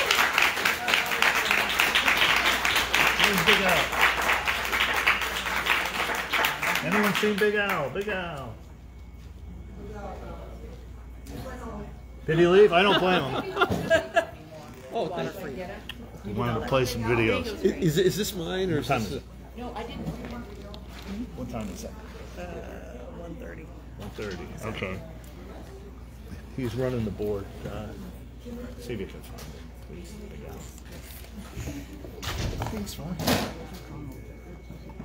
Oh, John's here. Oh, I didn't know John was here. Yeah, I'm sorry. John, John, John. John, we didn't know you were here. Come up. Come on up. I'm sorry. So am I staying? Okay. Am I staying? Am I What? staying now? Here. Can you Can you take over for her for two seconds? I didn't know you were here. No one told me, man. John Muto, give it up. Oh, thank you. I'm staying for the Our next, I didn't know you were here. I'm sorry. We would have. no, no. How's it going? Our next guest needs no introduction, but we're going to give him anyway. The president and co-founder of Heal LA, Mr. John Muto. I think that works. Yeah. Check. Okay. Can everyone hear me? Yes? Okay. All right. I'm gonna be uh, trying to talk to you guys more than uh, maybe the people online. but Sure. Go ahead. We any got you. questions, Talk to the uh, people. Please let me know. But I'll let you. No, go ahead. Tell us what what's going on in Heal LA. Okay, awesome. Um, just want to say thank you to Ron first of all for inviting all of us and coming together. Really appreciate it. So thank you, Ron. Oh, thank you, that Mark. you. Thank you, everybody. Ron. Thank you guys for coming. And uh, thank you for everyone for coming out. You know, I know a lot of people are coming out from different cities, maybe even different countries. So thank you for that. Um, if you don't know me, my name is John Muto. Uh, I'm the co-founder and president of the Heal Los Angeles Foundation. Uh, this is an organization that Prince and I founded back in uh, when we were at college, right here at LMU. Uh, we started as a student service organization uh, for three years, and then uh, when Prince graduated, uh, he wanted to make it to an official nonprofit foundation. So we are now called the Heal Los Angeles Foundation. Uh, our mission is to impro- improve the lives of younger people by creating impactful programs. Our impact areas are two things self care and education. Uh, something that I just love about Prince and, you know, from the service that we do is that, you know, we, we don't have the sexy numbers. Uh, we're, not, we're not the nonprofit that's going to say, hey, we're millions of kids. We would obviously love to get there, but we're starting right at home uh, in Los Angeles, and everything's through data and measurement of what we do. And with our impact areas of self care and education, we create programs. Um, I'm wearing one of our shirts right now. I just came back from uh, a program called the Power Up Fitness Program. We have a fitness program, cooking class, and we're about to start up a mental health program, which I'm really excited to talk about. Uh, but what, going back to what Prince and I really believe in is making a deep impact uh, in every children's lives. Um, so we're going to start off there. Uh, so right now we're at a school in Northeast Los Angeles called Loreto Street Elementary. As I mentioned, we go through data and measurement of how we select our locations. And right now, um, with our programs, uh, it's all very intentional of what the community needs, and we're very big on that. Um, something that I think everyone would enjoy here is obviously mental health is, is such a big thing nowadays for young kids and adults. Um, so one of our new mental health program is going to be called Smile. Uh, as we all know, that was my, one of Michael's favorite songs by Charlie Chaplin. And we got the fans involved in that, selecting the names. And SMILE is actually going to be uh, an acronym for Supporting Minds with Inspiration, Love, and Encouragement. We're doing, uh, it's focused around mental health. So the odd weeks, it'll be a 12 week program. The odd weeks will be yoga meditation along with some arts and crafts for the kids to do. And then on the even weeks, we're bringing in dog therapy for the kids to really, and each one has a curriculum to it. So as we mentioned, we're very intentional on how we go about our programs. A couple of things that I'm really excited to talk about, and I think hopefully uh, if you guys have any suggestions, please feel free to let me know. Uh, the secret ingredients in our foundation is always uh, the Michael Jackson fans because they're the ones that really support our work. Uh, a couple of the initiatives that we want to build out with ELA is Career Day. We really want to bring back that in the school system. Uh, and the other part that I want to create with the foundation is to um, make August 29th Michael Jackson Day. Um, truly trying to work with that. Um, my time with the Dodgers, uh, we always did something big for Jackie Robinson Day. And during my time there, I'm always thinking, wow, like we should eventually do a Michael Jackson Day um, and build that out. So that's in the plans. Um, we're thinking about maybe doing a mural at our school that we're located at, and then make and build it out from there on a, on something like Michael Jackson Day. So we're trying to work with uh, the mayor Karen Bass on that to get that going. But a lot of exciting plans. Um, I'm gonna keep it honest with you guys, like I always do. I know the MJ community wants um, something like Graceland, and I'm with you. I'm with everyone. Uh, right now, if you think about it, we got Forest Lawn, the Broadway show, uh, and the one show over in Vegas. I know a lot of people are going after this, but you know, I think what Prince and I have always talked about is that the MJ community needs a place to go to. Um, so we were hoping that you know with MJ Day and some other fundraising events, we can get MJ fans to Havenhurst. Um, the, the, elephant in the room is Neverland an option? I do think so down the line, uh, working with Ron Burkle and his team. But with Havenhurst, uh, we have access to that property. Um, as you guys all know, we one of our biggest fundraisers and to leave the legacy of Michael Jackson is Thriller Night. It's one of our favorite events. Um, something that I should have shared in the beginning. All of our donations uh, goes back to straight to our programs and special events. Prince has taken care of the operational and the general expense for the foundation, which we're truly thankful for. But every single donation, from a penny to whatever dollar amount you're comfortable with, goes back to our special programs and special events. But next year, what we're going to be rolling out, which we'll be making an announcement uh, very soon, is that besides Thriller Night, we're thinking about doing a few movie nights at Havenhurst. Uh, movies would include Michael's favorite movies or movies that Michael's in. Uh, this will be at Havenhurst, and then we'll probably be rolling out maybe three to five of them. Um, and then fans, let's say the movie starts at 5, ends at 7, we'll give fan access two hours prior to roam around Havenhurst. Uh, so more to come on that, but giving you guys that opportunity to visit Havenhurst since there is no public uh, space to, I guess, visit one of Michael's um, space that he lived in. So I think if you haven't seen Havenhurst during the day, uh, you're missing out. I know Thriller Night happens obviously during night, but uh, man, Havenhurst during the days, it's absolutely beautiful. Um, but there's you know a lot of great stuff happening for the foundation. Just came on board full time back in April since I was doing this part time for the last four years.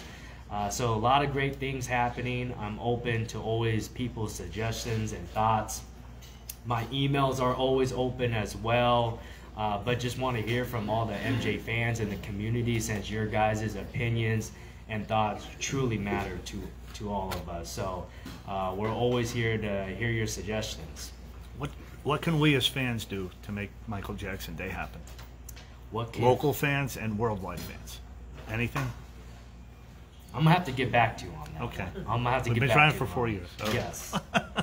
Okay. Yep. But I mean, we're here. Like, everyone wants to help. We just want to know what, like, just put us on the right path with the right people. I think Mayor Bass and I think what's going on down at Gary are the two places that, that probably should start if it right if it's going to happen. Like like. okay. Totally, Yeah. totally. Ron- Ron brought up a great question. How can fans support on making uh, a Michael Jackson Day uh, come to life? I told him uh, I gotta think think about that, but definitely anything that if you guys have ideas of how an MJ Day, you know, I always tell people think about your biggest uh, wish list. Like just name it, and I don't think it's ridiculous at all to to hear it out. uh, because I think MJ Day would be something different every year. Uh, I have so many ideas myself that, like I said, when we did Jackie Robinson Day at the Dodgers, I was just thinking, wow, we could do this for Michael, we can do this, but you know um, that can only last so so many years. So new ideas is always very important. So I think Ron, to answer your question, right there would be a great help of getting people's ideas. And like I said, I want to reiterate, no idea is uh, undoubtful. Everything's a possibility. Um, but we'd love to hear from every one of you guys of any ideas you have for MJ Day. Thanks for that, John. I'm trying to think. I think I think I'm good unless You you good? have- Okay. No. Um, so there's no thr thriller night this year, but there will be next year, in addition to the movies and night and stuff like that. Yes, great question. So Ron asked uh, if there will be a thriller night this year. No, no thriller night. We made an announcement earlier in the year, uh, only because of the uh, biopic film that's uh, that will be filming during Q4 of this year. So that's why we had to hold off on thriller night. But uh, looking forward to having it in 2024 uh, with along of our movie nights at Havenhurst for sure. I mean, they're asking, do you think that the buy will be out next year or probably 2025? Unless I they're on strike and Yeah, I, I think the, the, the strike is obviously going to push it back, but uh, to how long, I, I have no we don't know. Yeah, yeah, but it's happening. Right, right. It's definitely happening. happening, It's happening. Any any update on uh, Thriller 40? I don't know if you know that, but that, that's more of an estate question, I know. But I thought you might have heard something. I have not. You I'll have be not? honest with you. but I people have- are always I have asking. no clue. I have no. I'll ask you guys watching Tuesday. Uh, Mr. Branca will be there, and I have all my questions uh, ready for rapid fire, and I'll report back with the answers if he lets us. Are you are you going to Vegas to, for the show or no? I will not be in Not Vegas. Vegas? Okay. Uh, we're having an event with uh, Hard Rock Cafe Hollywood. Uh, thank you Oh, to that's Corey right. over there. Oh, my God. Yes. So. Hey, bring up Corey T. Corey. Yep. So Come on up. uh, I forgot about that. Prince will be in Vegas, so he's holding the ground over there, and then I'll be holding the ground here right, in Los right. Angeles. So I'll Corey talk. No, it's from Yep. two to six. Come on up here. Corey T in the house, everybody. Doing amazing work at the Hard Rock. Um, hello. Hello. Good to see you. I see you uh, in every city now, every state. we're like we're, we're like long lost friends. he was at the uh, the 10 year anniversary of MJ1 mm-hmm. and um, Thriller 40. Thriller Aqua 40. too. And all right, so on on Tuesday, uh, for you guys with me, we're going to be at Forest Lawn at uh, nine in the morning until about 11 in the morning. We have the airplane coming with the banner for Michael at 11 o'clock. We're gonna we're gonna sing again. We're gonna try to do uh, "Cry" and "People of the World," and then we're driving to Vegas. Uh, but the show's at seven o'clock at night. But for you guys in California, starting at two o'clock, 2 p.m. you take over. Go. So, is it on? Do you guys hear me good? Yes. Okay, cool. Um, yes, I'm Corey. I work at Hard Rock Cafe on Hollywood Boulevard. Um, Tuesday, August 29th, we are having MJ's magical 65th birthday celebration. Um, this is an event that I curated. I'm very like proud of it and I'm proud of the fact that like I've received the amount of support that I have. I know that the majority of us do go to Vegas around this time. I've gone like the past three years, so it is kind of like uh that I can't be there this year, but I feel like it's a cause that's completely worth it because I feel like the more of these events, including like this event, like the more that we get to do this and kind of fellowship with each other, the better. Um, so yeah, from two to six at the Ovation Hollywood, um, Hard Rock is partnering with the Ovation Mall to put this event on. Um, we'll have lawn games from Lucky Strike. We're gonna have um, some classic arcade games coming down from Dave and Buster's. Um, I've got some giveaways that I have officiated and created. So there's going to be a little trivia, but I've got music playing. We've got caricature artists. And if you've seen any of the beautiful MJ murals um, around from downtown at the Monte Carlo to over at the Grove, Nate, um, Captain EO, is going to be on the property and he's going to be painting a mural, like a smaller mural, uh, live at this event for like the first half of it. And then we're going to auction that painting off to one of the guests at this event, and that full donation will be donated to the Heal Los Angeles program. So a lot of good things, y'all. Um, if I'm being honest, I'm super nervous. It's my first time ever doing something like this. Um, You're doing but great work. I'm just super excited that it's possible. I'm from Indiana. For the people who did not know, I moved here in 2018, so it's like I really relate. Like I've really been a fan my whole life. Um, it's not anything that I play with. It is very serious for me. So it's a dream come true, truly to, like I said, to be able to do something like this, as well as to support a cause that is so close to the family. So I'm super thankful and grateful. And for those coming to Vegas after the seven o'clock show. Oh my God, yes. So for the people who are going to Vegas, I, if you know about Hard Rock Cafe, we are all over the world. Um, I can only speak for my region though, and my region also happens to be Las Vegas. So those are like my sisters in my department out there that work at that cafe, and I reached out to them and was just like, hey, um, I have a lot of people who you know are about to be in Las Vegas Michael Jackson, and I believe the shows end around like 9:30, you know, and we kind of like would go to a pizza place and like just kind of chill there. And I was like, how cool would it be though for us to have like a spot that's actually music related that can play Michael's videos and things like that. Um, so they agreed. Um, really, it is not on me. It's truly you, Ron. Ron is also responsible No, for that worry. too, so No, I no, can't take any You're of that real credit on that. I just gave him the, you know, the connect. But he got out there, they set it all up for you guys. So I really do hope you guys go there and have a good time. It is good food. Um, I don't think their cooks are better than our cooks in Los Angeles, uh, but I love their cooks regardless. So it is definitely worth, you know, taking the time out there. They're really great people too, and they have a really good staff. So Thank you, Kurt. got you. Next year, I'm putting you. Uh, I want you. So we want international hard rock. International all over the globe. There, for people to meet, that would be the place, like where we could do this in other That's countries. the goal, like That's my goal, guys. I do um, have even more news. I can't share it all the way right now, but just know it's if you follow me on any of the social media, you'll definitely be hearing um, as early as like Tuesday morning. It's a lot of cool stuff that is still happening. Michael's happening, birthday. so, Michael's yes. birthday. Hmm, So, not a coincidence. Yeah. All right. All right. Thanks to Corey T. Give it up. Did you leave? No. Okay, let him. Yeah, John. John. Don't. He's talking No, I'm just Where's. Big Al? Back there. I need Big Al. John, just give him credit. He wants him to have it. Okay, so here we have some bags that Wendy's going to hand out from Heal LA. Thanks to John. Thanks, John. John. Thank you, John. Big Al. Start with uh, the video. Which one? Um, number uh, Taj. Taj Bryton. Happy birthday. Yeah.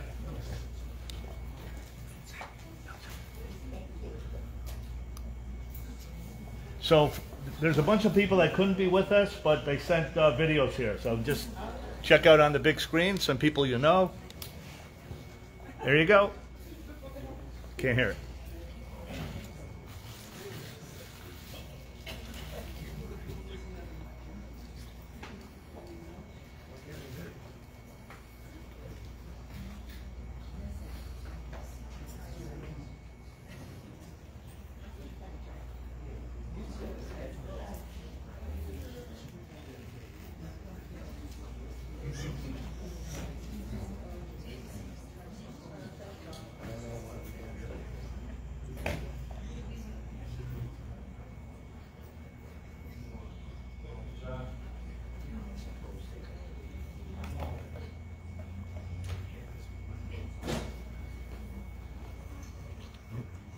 Want to try the other screen, Big Al, in the back? Everything is working fine over here. All right. Hey, you guys. All right, so uh, we're gonna we're gonna get the videos set up. Uh, play a couple videos from the people that couldn't be here, and then uh, then get ready to sing. We're gonna try to do this, although we're not hearing the screen for some reason. We gotta shut the mic off. Maybe we gotta shut them off. Technical problems.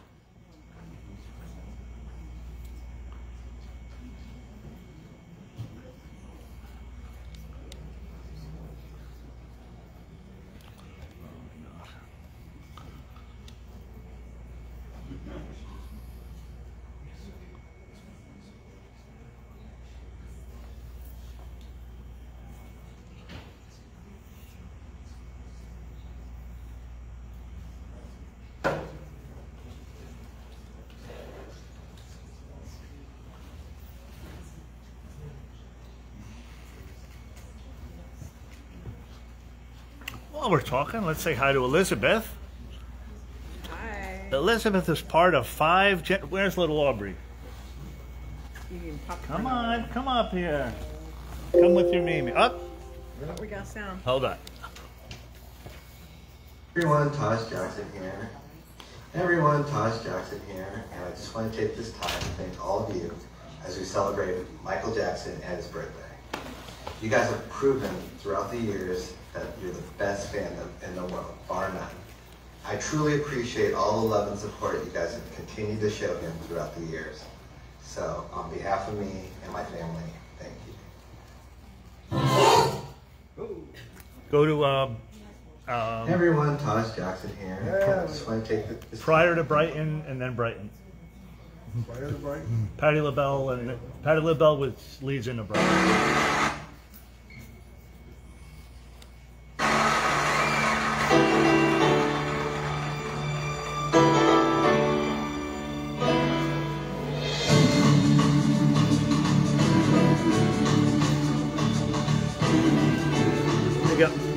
Just lower it a little so we don't get that blocked.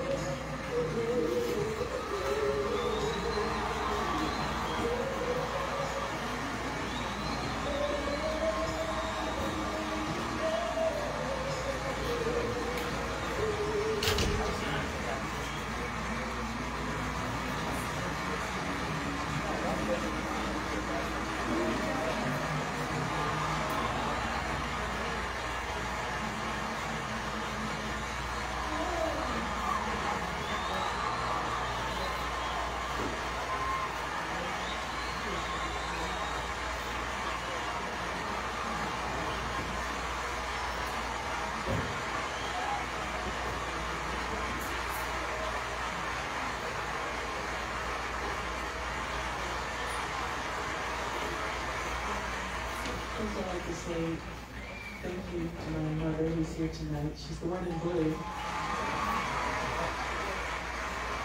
Thank you for giving me life. I really mean that. I love you. I love you too. There are two things which the NAACP stands for, which are the most important things in my life, freedom and equality. In every person there is a secret song in their heart. It says, I am free. It sings, I am one. This is the natural feeling of every child, to be free as the wind, to be one with every other child. All the troubles in the world is caused by forgetting this feeling. And when I perform my connection is with people, it's just to remind me of that, to be free and to be one. In this spirit, the NAACP has done its cherished work. Thank you for having the faith to see that I share your work, for I deeply feel I do. I accept this award on behalf of the world's healing, when all our brothers and sisters will be as free and equal as we are today. I love you so much, and I'm very honored and thank you for this award. Thank you so much. Right.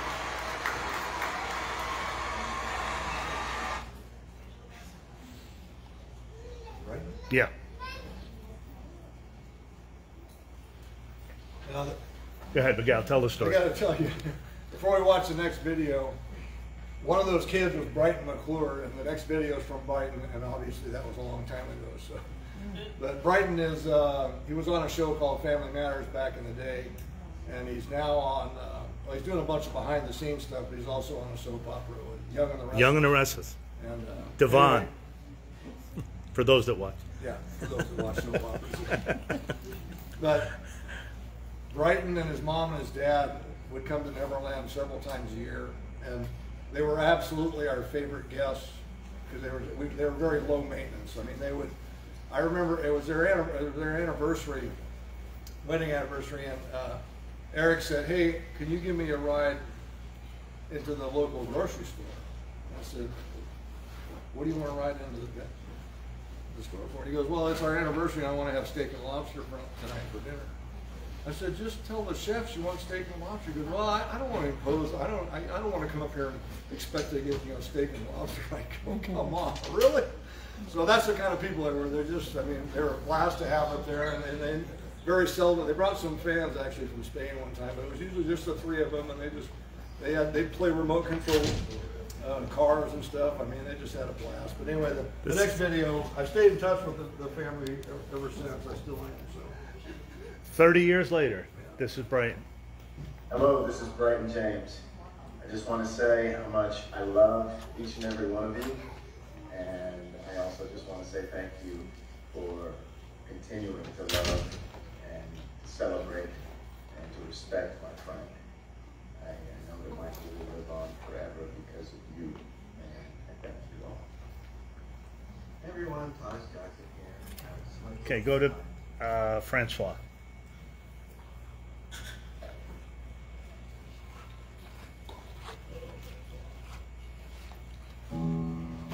This here is 91 year old Mr. Francois Glurier. He per performed this with Michael many years ago. And uh, if you close your eyes, you could hear Michael sing.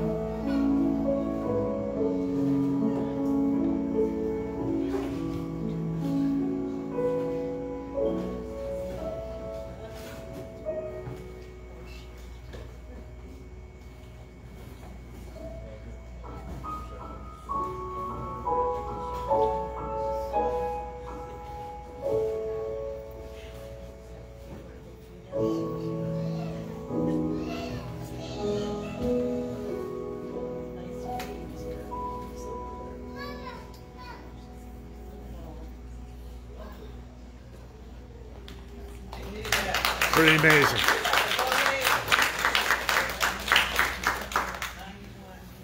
All right, ready to sing?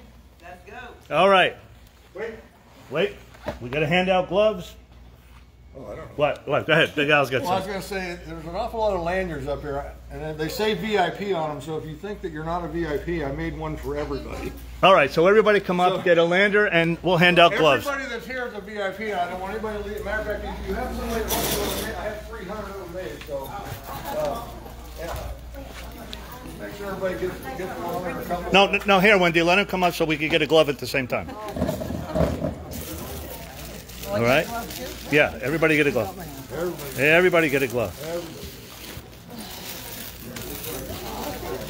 You're welcome. Thank you more. All right. Get gloves. We're ready. You're welcome. Thank you more. Thank you. All right. I gotta get, gotta get Kid Jackson. Gotta get Kid Jackson. Okay. Yeah. We gotta get mom one.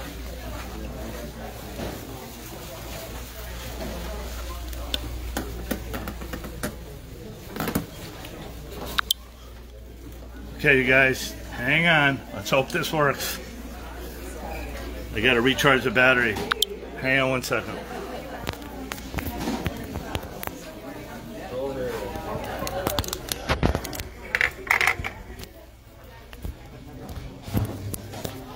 Yeah, the date's wrong.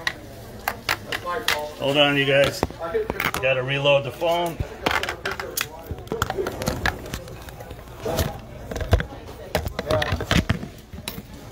All right, we got the battery charged.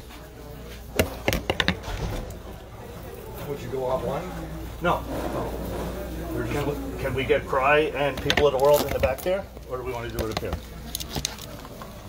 We're kind of going to have to stand back there, so it would make more sense. All right.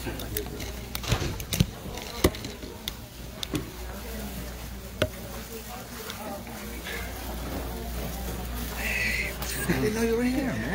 Surprise you. We, got- we got some surprise guests. Hold on, we got to stop. Pork chop and John John in the house.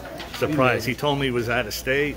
This guy, this guy doesn't return my calls. Oh, so they no, no, no, no, don't you I start. returned the hey, call. Hey, you're a guest here. Hey, hey, this isn't June. This is the, the well, what is this? August. This is August. You're a I guest. you- I'm a- I'm gonna you're a give you guest. that. You give me your- that. it's your thing. It's past Gr- uh, Grab a glove, grab a VIP badge Yeah. up front there, and we're gonna head back here. We're doing Cry and People of the World. Can we give a shout out to? Uh, gonna sit. We're gonna sit this at. It's over there. my stuff's in that far corner. You guys, real quick. Here's the amazing. ca- Here's Megan. Megan, say hi to Hi, everyone. guys. You ready to sing? Oh, yeah. we want to hear you. we want to hear you. You've had months to practice. Uh, yeah. We're going to introduce the person behind the cake here. Uh, Big Al's going to try to get us logged on. You guys still here? All right. the outfit, Rob. We're getting no. If nobody's You coming. take pictures from the way from I here heard up. I Okay, I look like Frank DiLeo. Okay, stop with this. We're gonna try. Thank you for coming, man. I appreciate- No, yeah, I'm we're, here all day, We're still baby. on face. Okay. I'm here all day. All right. So, John said my three favorite words of the day. You guys that have been with me for four years. That's all right. Hey, we're all friends. My three favorite words of the day: Michael Jackson Day. Big Al's calling. Yeah, we're gonna do once everybody lines up. Are we? Are we ready for it? I'm ready. Okay. Sound will, will be good? We don't know? Okay. All right, Bex, you want to coordinate this? No one listens to me. We're, we're, we're going to line up for Cry and then People of the World. do a circle? You want them in a circle? What do you think? I mean, I think from the room we could go all. Did you see who's here? No. Uh, pork chop and John John. You see John John? Yeah. Who else? Oh, I thought. Uh, I thought he, I thought oh, I thought. was coming. No, I didn't.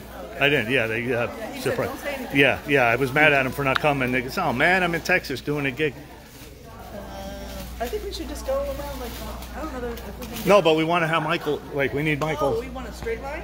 No, we can do up and like Forest Lawn. We can do up and down. Hold on, wait a minute. I got the guy. Hey, pork chop. We're gonna put you to work. You're going to make believe it's Forest Lawn. You're going to gather everybody. I want to hear you yell. I'm You're here. duty. You're a working day. This is a working day. is Everybody thing. gather around. No, it's not. Same thing. I stay in my lane. Here he goes.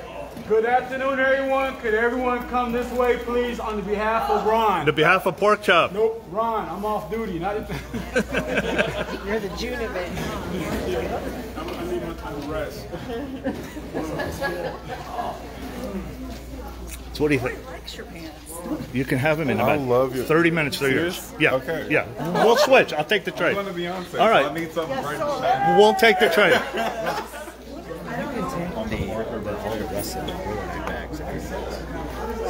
Oh, okay. Okay. Yeah, Wendy was handing them out, What, right? No, but these aren't the rest. Oh, okay. Uh, I'll take them to Forest Lawn. I'm going Tuesday. We're doing the same thing over there. We got Okay. the airplane coming and all. Uh, Okay.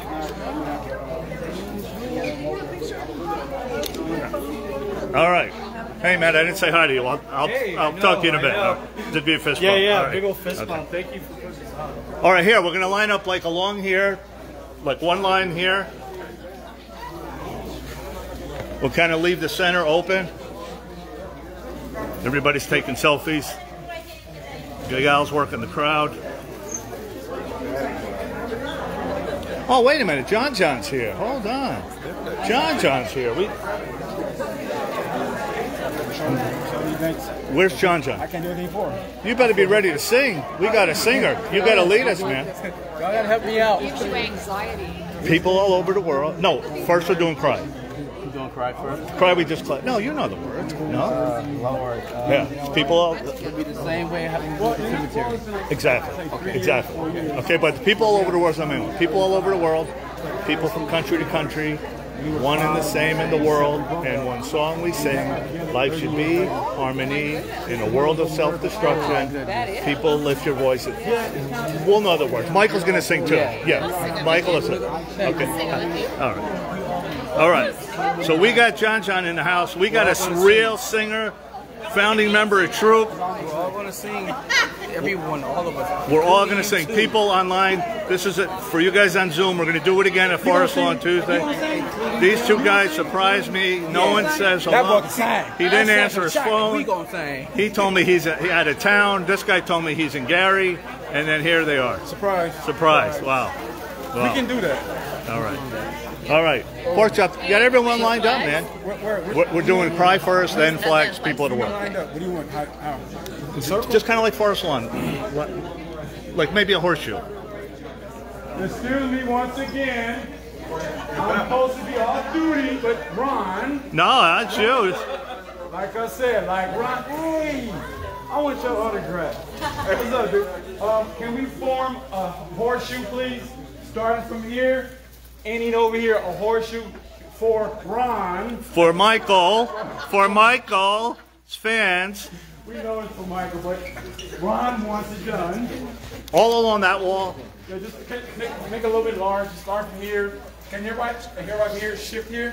Can everybody, can everybody shift down a little bit? One, we're gonna start from this edge here, all the way around to this other edge, whatever like that. Please. Then along here. Hey, that's Albert, y'all. That's Albert. Hey, that's Albert. John, John, you be in the middle. Uh, uh, Come on, man. Your work. This is a word. This ain't no. Uh, We're all gonna sing together. does everyone have a glove? Wendy, make sure everyone has it on your hand, on your right hand. Look here. I want to show witness. Look, Wendy Chow not wearing a white glove. I'm Look, the the camera. only one. Look, the only one. She can have it in her right hand. Okay. I'm holding your camera. All I right. couldn't get it on. All right. Was he surprised? Jo- yes, of course I was surprised. I, Don't tell Ron. John John's going to lead us. All right, Big Al. We're all gonna leave. Where's Big Al? Big Al. Ready. He's signing. All right. You guys at home. First, we're going to do cry. Then we're going to hand out flags for people of the world, and then it's cake time. Is it sugar free? Hmm? I couldn't hold it in. Sorry. I couldn't hold it in. Everybody, this is John John Harreld from Troop. If we all follow John John's lead, we'll be all right. Here we go. Whatever happens on when they clap, we clap, or whatever John John does, we do. Go ahead. We could clap. We could clap. Everybody!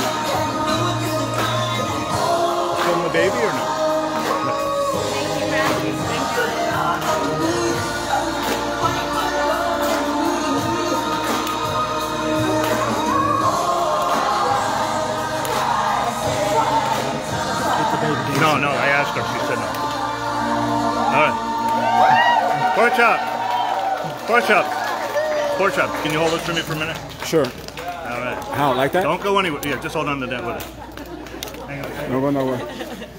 And we should could have filmed the baby doing the dance. But hey, you understand? Yeah. Believe me, my daughter, she did some things this week, and everybody's calling, and because she had a uh, Channel 5 last Saturday, It was like uh, Pedro told me, hey, send me a picture of the baby, you know. So I sent a picture of me and they call it little porch, and they put it on on air. I didn't see it. I was getting phone calls. That's the baby. Yeah. People like, hey, don't you want to put her in like movies and stuff? Who were you? I don't know. Only reason we would do something if she wanted to. That's it. I did. I did what like what he did with movie stuff. I was forced. So.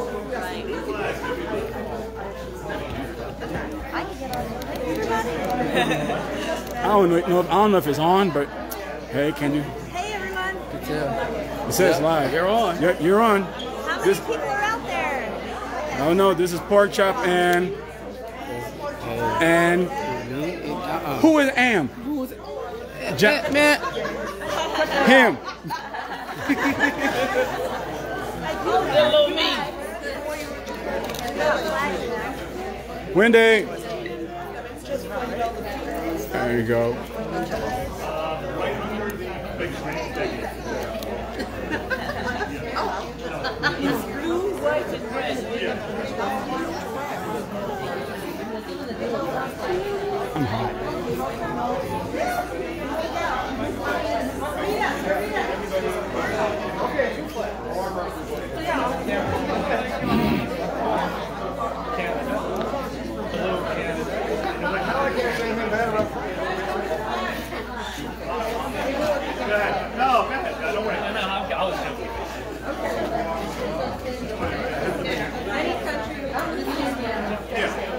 I want a Dodger uh, flag. I want a Dodger flag.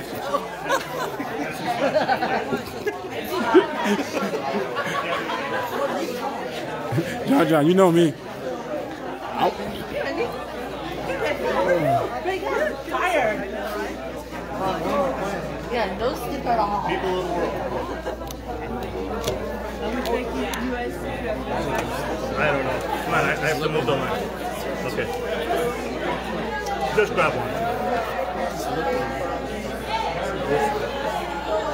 Did I, did I see chili in there?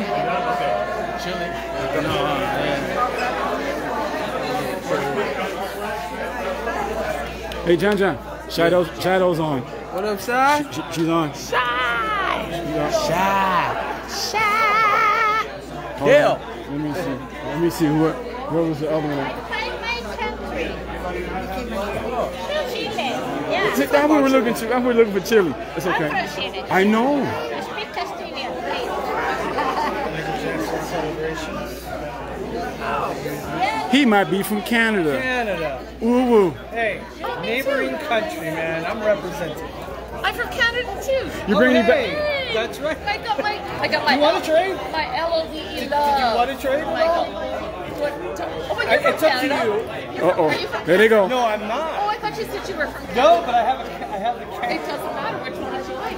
Shidell is watching. Want to represent your own country? I don't She's know. watching. I'll take whatever one. Chile. All right. Chile, Chile, Chile, Chile. Gente que habla español. So I have gone from Canada. Oh, can't show the baby. Can't show the baby. I'm waving, I'm waving as many flags as possible. Right there, on top of your box. No, we're gonna play a video for Red John. All right. Hello. Whew. Whoa. Okay, where's Pork Chop? Pork Chop got the feed. Shadow's on. She, she's watching.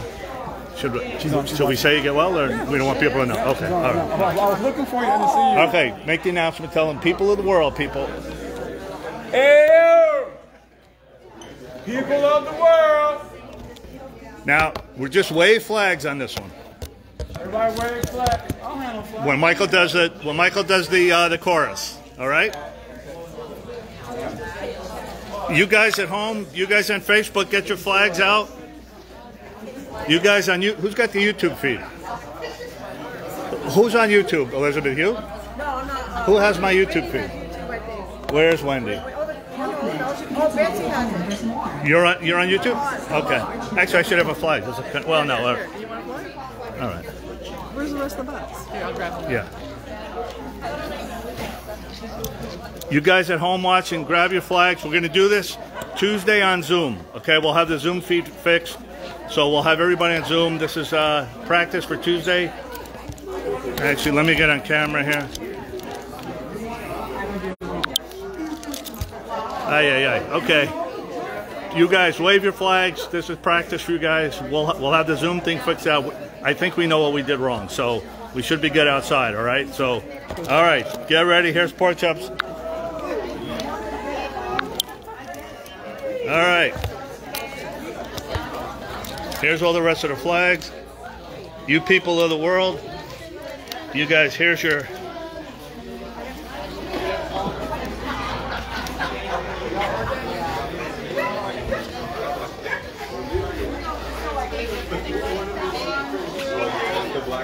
Okay, Big Al, whenever you're ready. Not now, pictures. Come on, one, just one picture. She is unbelievable. Come, come on, Heather. It's starting. It's starting. It's starting. All right, everybody. We're going to let Michael sing the main part. We all sing the chorus. All right? Same thing. Follow John John's lead. Same thing. Follow John John.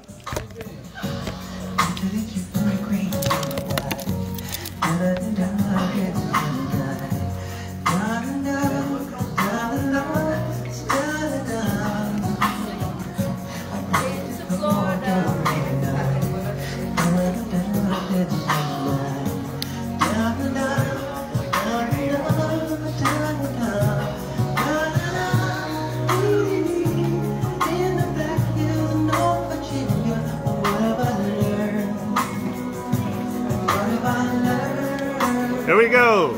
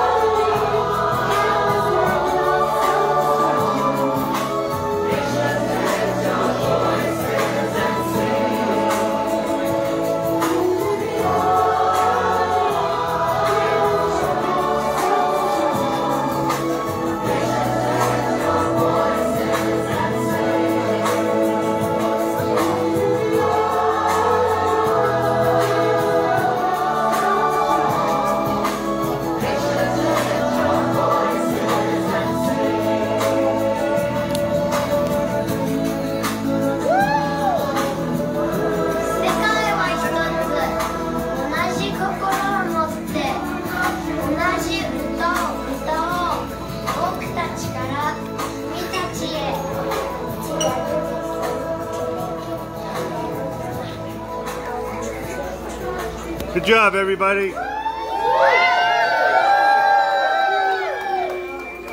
All right. Who who wants cake? Okay, we're gonna play the second half of Francois when he plays Happy Birthday, Michael.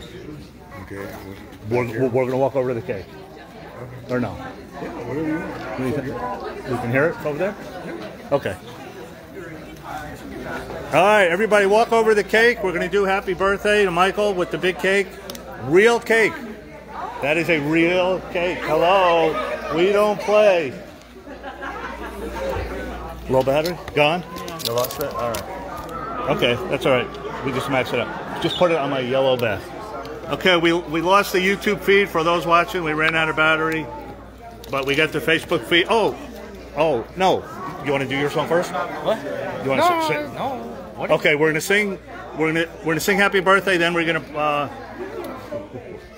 This is the real this is the real thing. We don't play, John. okay. Hey, this ain't. Hey, hey, hey, hey. It's Michael Jackson. Okay. This ain't Eminem. This ain't Bieber. Okay. We don't put. This is the real thing, John. Oh wait. a minute. Hold on, Big Al. Play the play the Michael Copen, play the Michael Copenhagen first. The, the, the, like when they do the actual cake. I'm sorry. First Copenhagen, then Francois. Yeah, right there. Yeah. Ready? Yeah, uh, crank it. So it's going to be on this one here. Your go-to solution. All right, everybody, check out the big screen. Here we go. It's right here, right here. It's right in the middle of the show. Shush, shush, shush. It's my birthday, and I'm thousands of miles away from my family.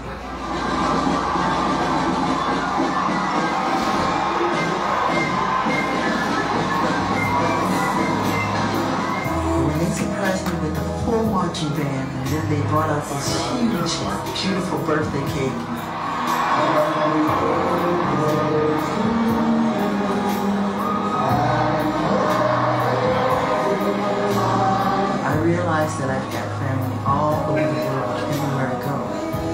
Fans really show me the love, and I love them just as much.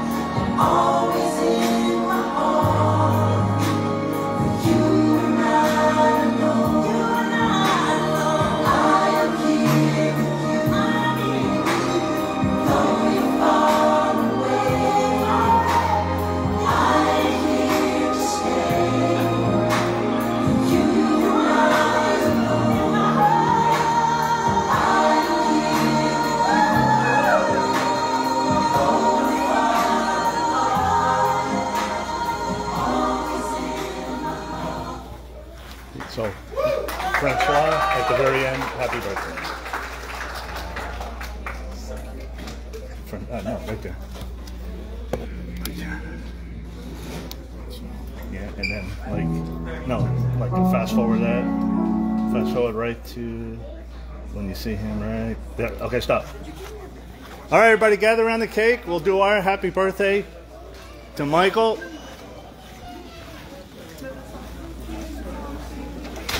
Just so you know, we're gonna have sparklers. We have the sparkler. I was worried. Where's the marching band? Wendy, that's next year. This is you guys. This is the this is the pre. Wait till you see what we got planned for next year. I'm just telling you right now. We ain't playing. We're not playing. No, no, no. They ain't playing. They ain't playing bro. Like, I- You didn't think they should be here. Be honest. You think we'll have cupcakes? I Yeah, did. no, you thought we have cupcakes. I thought it, guys. I never really did. I was like, yo, he's gonna have cupcakes. We were almost gonna come in. I know. All right, Big Al. Everybody ready to sing? Keep your eye on Francois. Where's Francois? Oh. Start. Happy birthday to you. Happy birthday,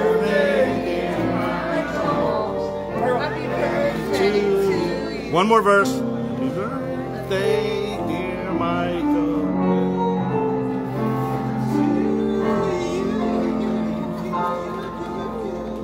All right. All right, who's gonna cut? Who's cutting? Where is where? She Fine. said it doesn't matter. No, it does matter. Come on. Find her for a second. Where's the knife at? Come on up here. Hang on, everybody. We were almost not going to have the cake. And one lady stepped up, not only did the cake, did the tablecloths, the plates, the things on the back of the chairs. She said, This is Michael Jackson. We got to step up. So give it up. Irene, we thank you. We love you. The- the team- Go I ahead. just want to say that I'm really honored, and um, you know, I'm just happy that I'm here. You know, I love Michael, and Ron does so much for us. So this is for Michael, it's for Ron, and it's for all the fans. And I, I have um, Elizabeth. I couldn't have done it without Elizabeth, and also. Where's Elizabeth? Elizabeth, come up here. Yeah, I could not have done it without her. Betsy Maddox, come up here. Betsy. Betsy, Elizabeth. Where's the little one? Aubrey. Aubrey. Every pic. Aubrey has to be in every picture. Yay! Come on, Mom. Here's the future. Here's the future. I want to ask you something. I want you to make me a prompt. Oh, Wendy, do we have? Where's Wendy? Yes, I do. What? We know. You, um, we know you have your glove because I saw it, and we know you have the beaded jacket. But we need something to match the glove. So, an early birthday gift. Can I borrow Open it up. Open it up. Want help her? Want to help her? She likes them. Leggings. Leggings. Oh, you know how. Look, look at Uncle Pork Chops. Uncle Pork Oh, Uncle Pork I gave her the gift. Sure, Uncle Pork. Yeah, Uncle Pork Chop. Oh, I'm like Ray J. I was here first. All right, that's true. That is a good point. That is a good point. My niece first.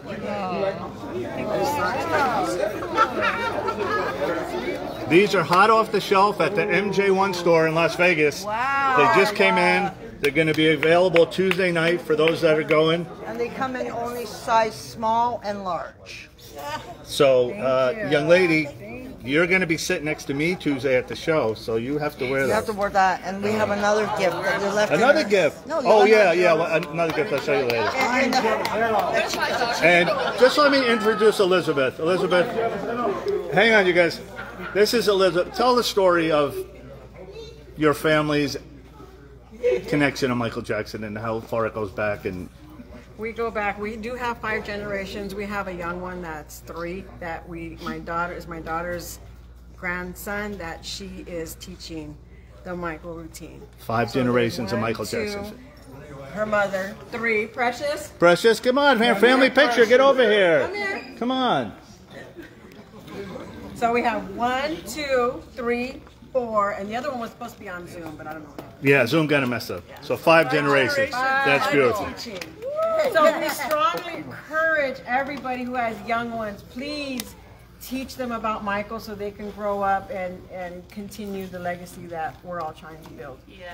Oh, please. I want to. I want to ask you one favor, okay? If I don't cry, when you get older, I want you to do today what I'm doing here today with my friends. You do it with your friends.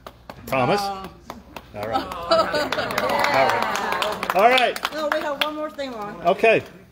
Wendy Chow, go ahead. We just, it's just a card that we just signed. Just thank you, Ron. Oh no, come on. No, it- it's All right, just a thank card. you, thank you. It's thank just a card. All right, and thank you. anyone that hasn't signed it, we're gonna just leave it here s- somewhere. No, thank you guys more. Come on. People of the world. People of the world. People's messages to you, right? All right. Young lady, you're going to cut the cake. Please. Oh, hey, Ron. You want to cut? I made a new necklace uh, for being my friend for two years. Oh, okay. Thank you, Megan. I appreciate it. Thanks for coming. You coming to Forest Lawn? Not, not, not this Not time. as- okay. Uh, because my mom, right. she uh, sprained her ankle and she, she's in. All right. How, how are we doing the cake, Bets? Uh, who's cutting? Who's serving? We'll serve. Somebody cut. We'll serve. We're bringing plates up. People come up with their plates. All right. Yeah, Wendy, get all the pictures of this because I have no pictures. No, come on, come on, quick. We're about to cut it. We're about to cut it. With the glove and everything? Look at this. It's a picture. Hold on. Let me get this photo. Get that photo. Wendy, get this here. Get that photo. Get there. This is the lady, you guys. This is responsible. Irita's responsible for making this happen. No, no, no. I asked her first. No, I asked her in the back. Wait a long time. All right. On, on three? One, two, three. Michael. Uh, Oh, oh, want another picture with you there. Yeah, oh. get your pictures, everybody. We're about to cut this beautiful cake. If you don't have your pictures, Look at me smile. Yeah. what do you want people to bring their plates up? Yeah. One, two, three. Michael. Yay. All right. Okay. All right, so bring your plates up and. Uh, all right, one more. John, we'll tell John. What do you want us to do? We wanted to play the what? Oh, they, they want to know what Thriller Nights where it was, so I thought it'd be Come, cool. show Big Al. Okay. Big Al, one more video. For our friends at Heal LA. For our friends at Heal LA, John's gonna. I hope he can show you which one. Yes. Okay. Uh, if you go on our website. Oh, I Disney. Wow. Okay, um, so we're gonna have cake. We're gonna play. John wants to play one video from Heal LA, and then I will play the. Uh, I will play Crystal's birthday uh, video. The battery's charging. Our friends on YouTube. We just ran out. The battery went before it was too late. I, I didn't have a chance, but so far Facebook's been good. Uh, yeah, you know. All right. Hang on there. Thanks, you guys. I see the comments.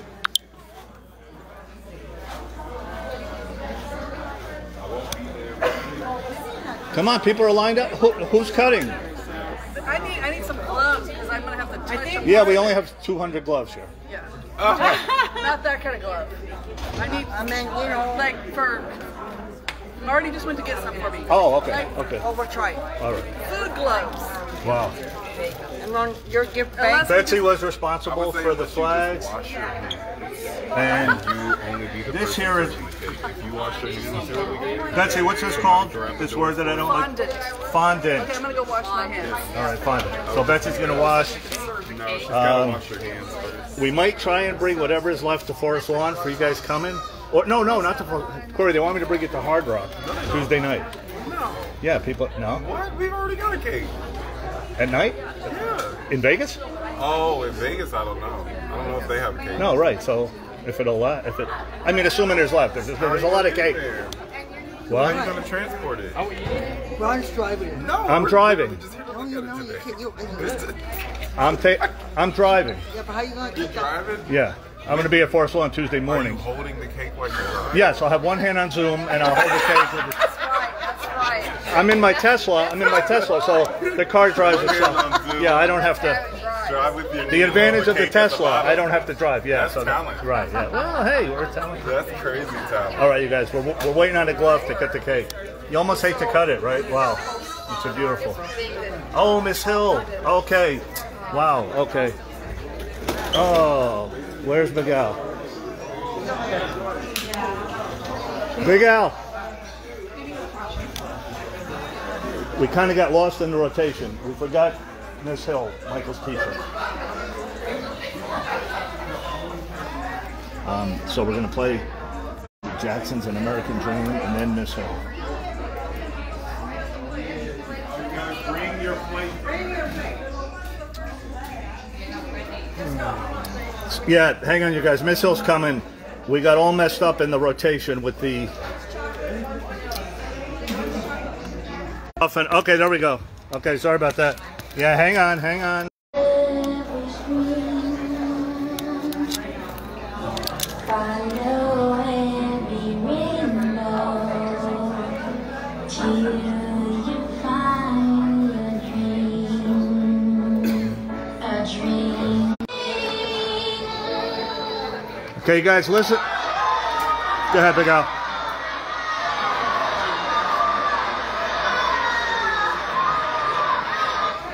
This is 90 year old Mrs. Hill. Listen, listen, I am Anita Hill, listen. Jackson's first music teacher. I'm here in the lowest voice through all of my students. I decided to teach them a song from the sound of music. Climb every mountain, which he performed for our school's PTA program. At the 65th Down in Indiana. She's a, she's a legend down there. nine years old. All right. Thank you, Miss Hill. Okay, Big Al. John, uh, John will take one. And then, uh, then the Crystal's video and we're done. Whatever John told you really good. Okay, that was. What time is it? While they're eating. I was gonna tell a couple of stories. You have a clock? I was gonna tell a couple of stories. What, what time is it, somewhere? Three o'clock. Yeah. You want to? You want? You want to? Let's play John first, and then Yeah, we'll do well- you and me. Okay. This is it. We're looking at it. Okay, guys. This is uh, Heal LA.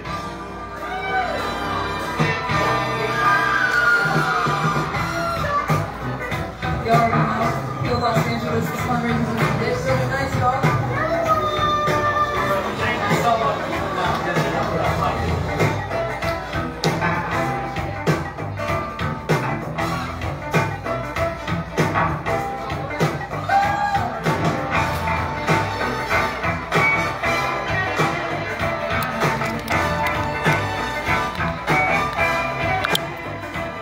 Guys, I'm gonna log off and on real quick.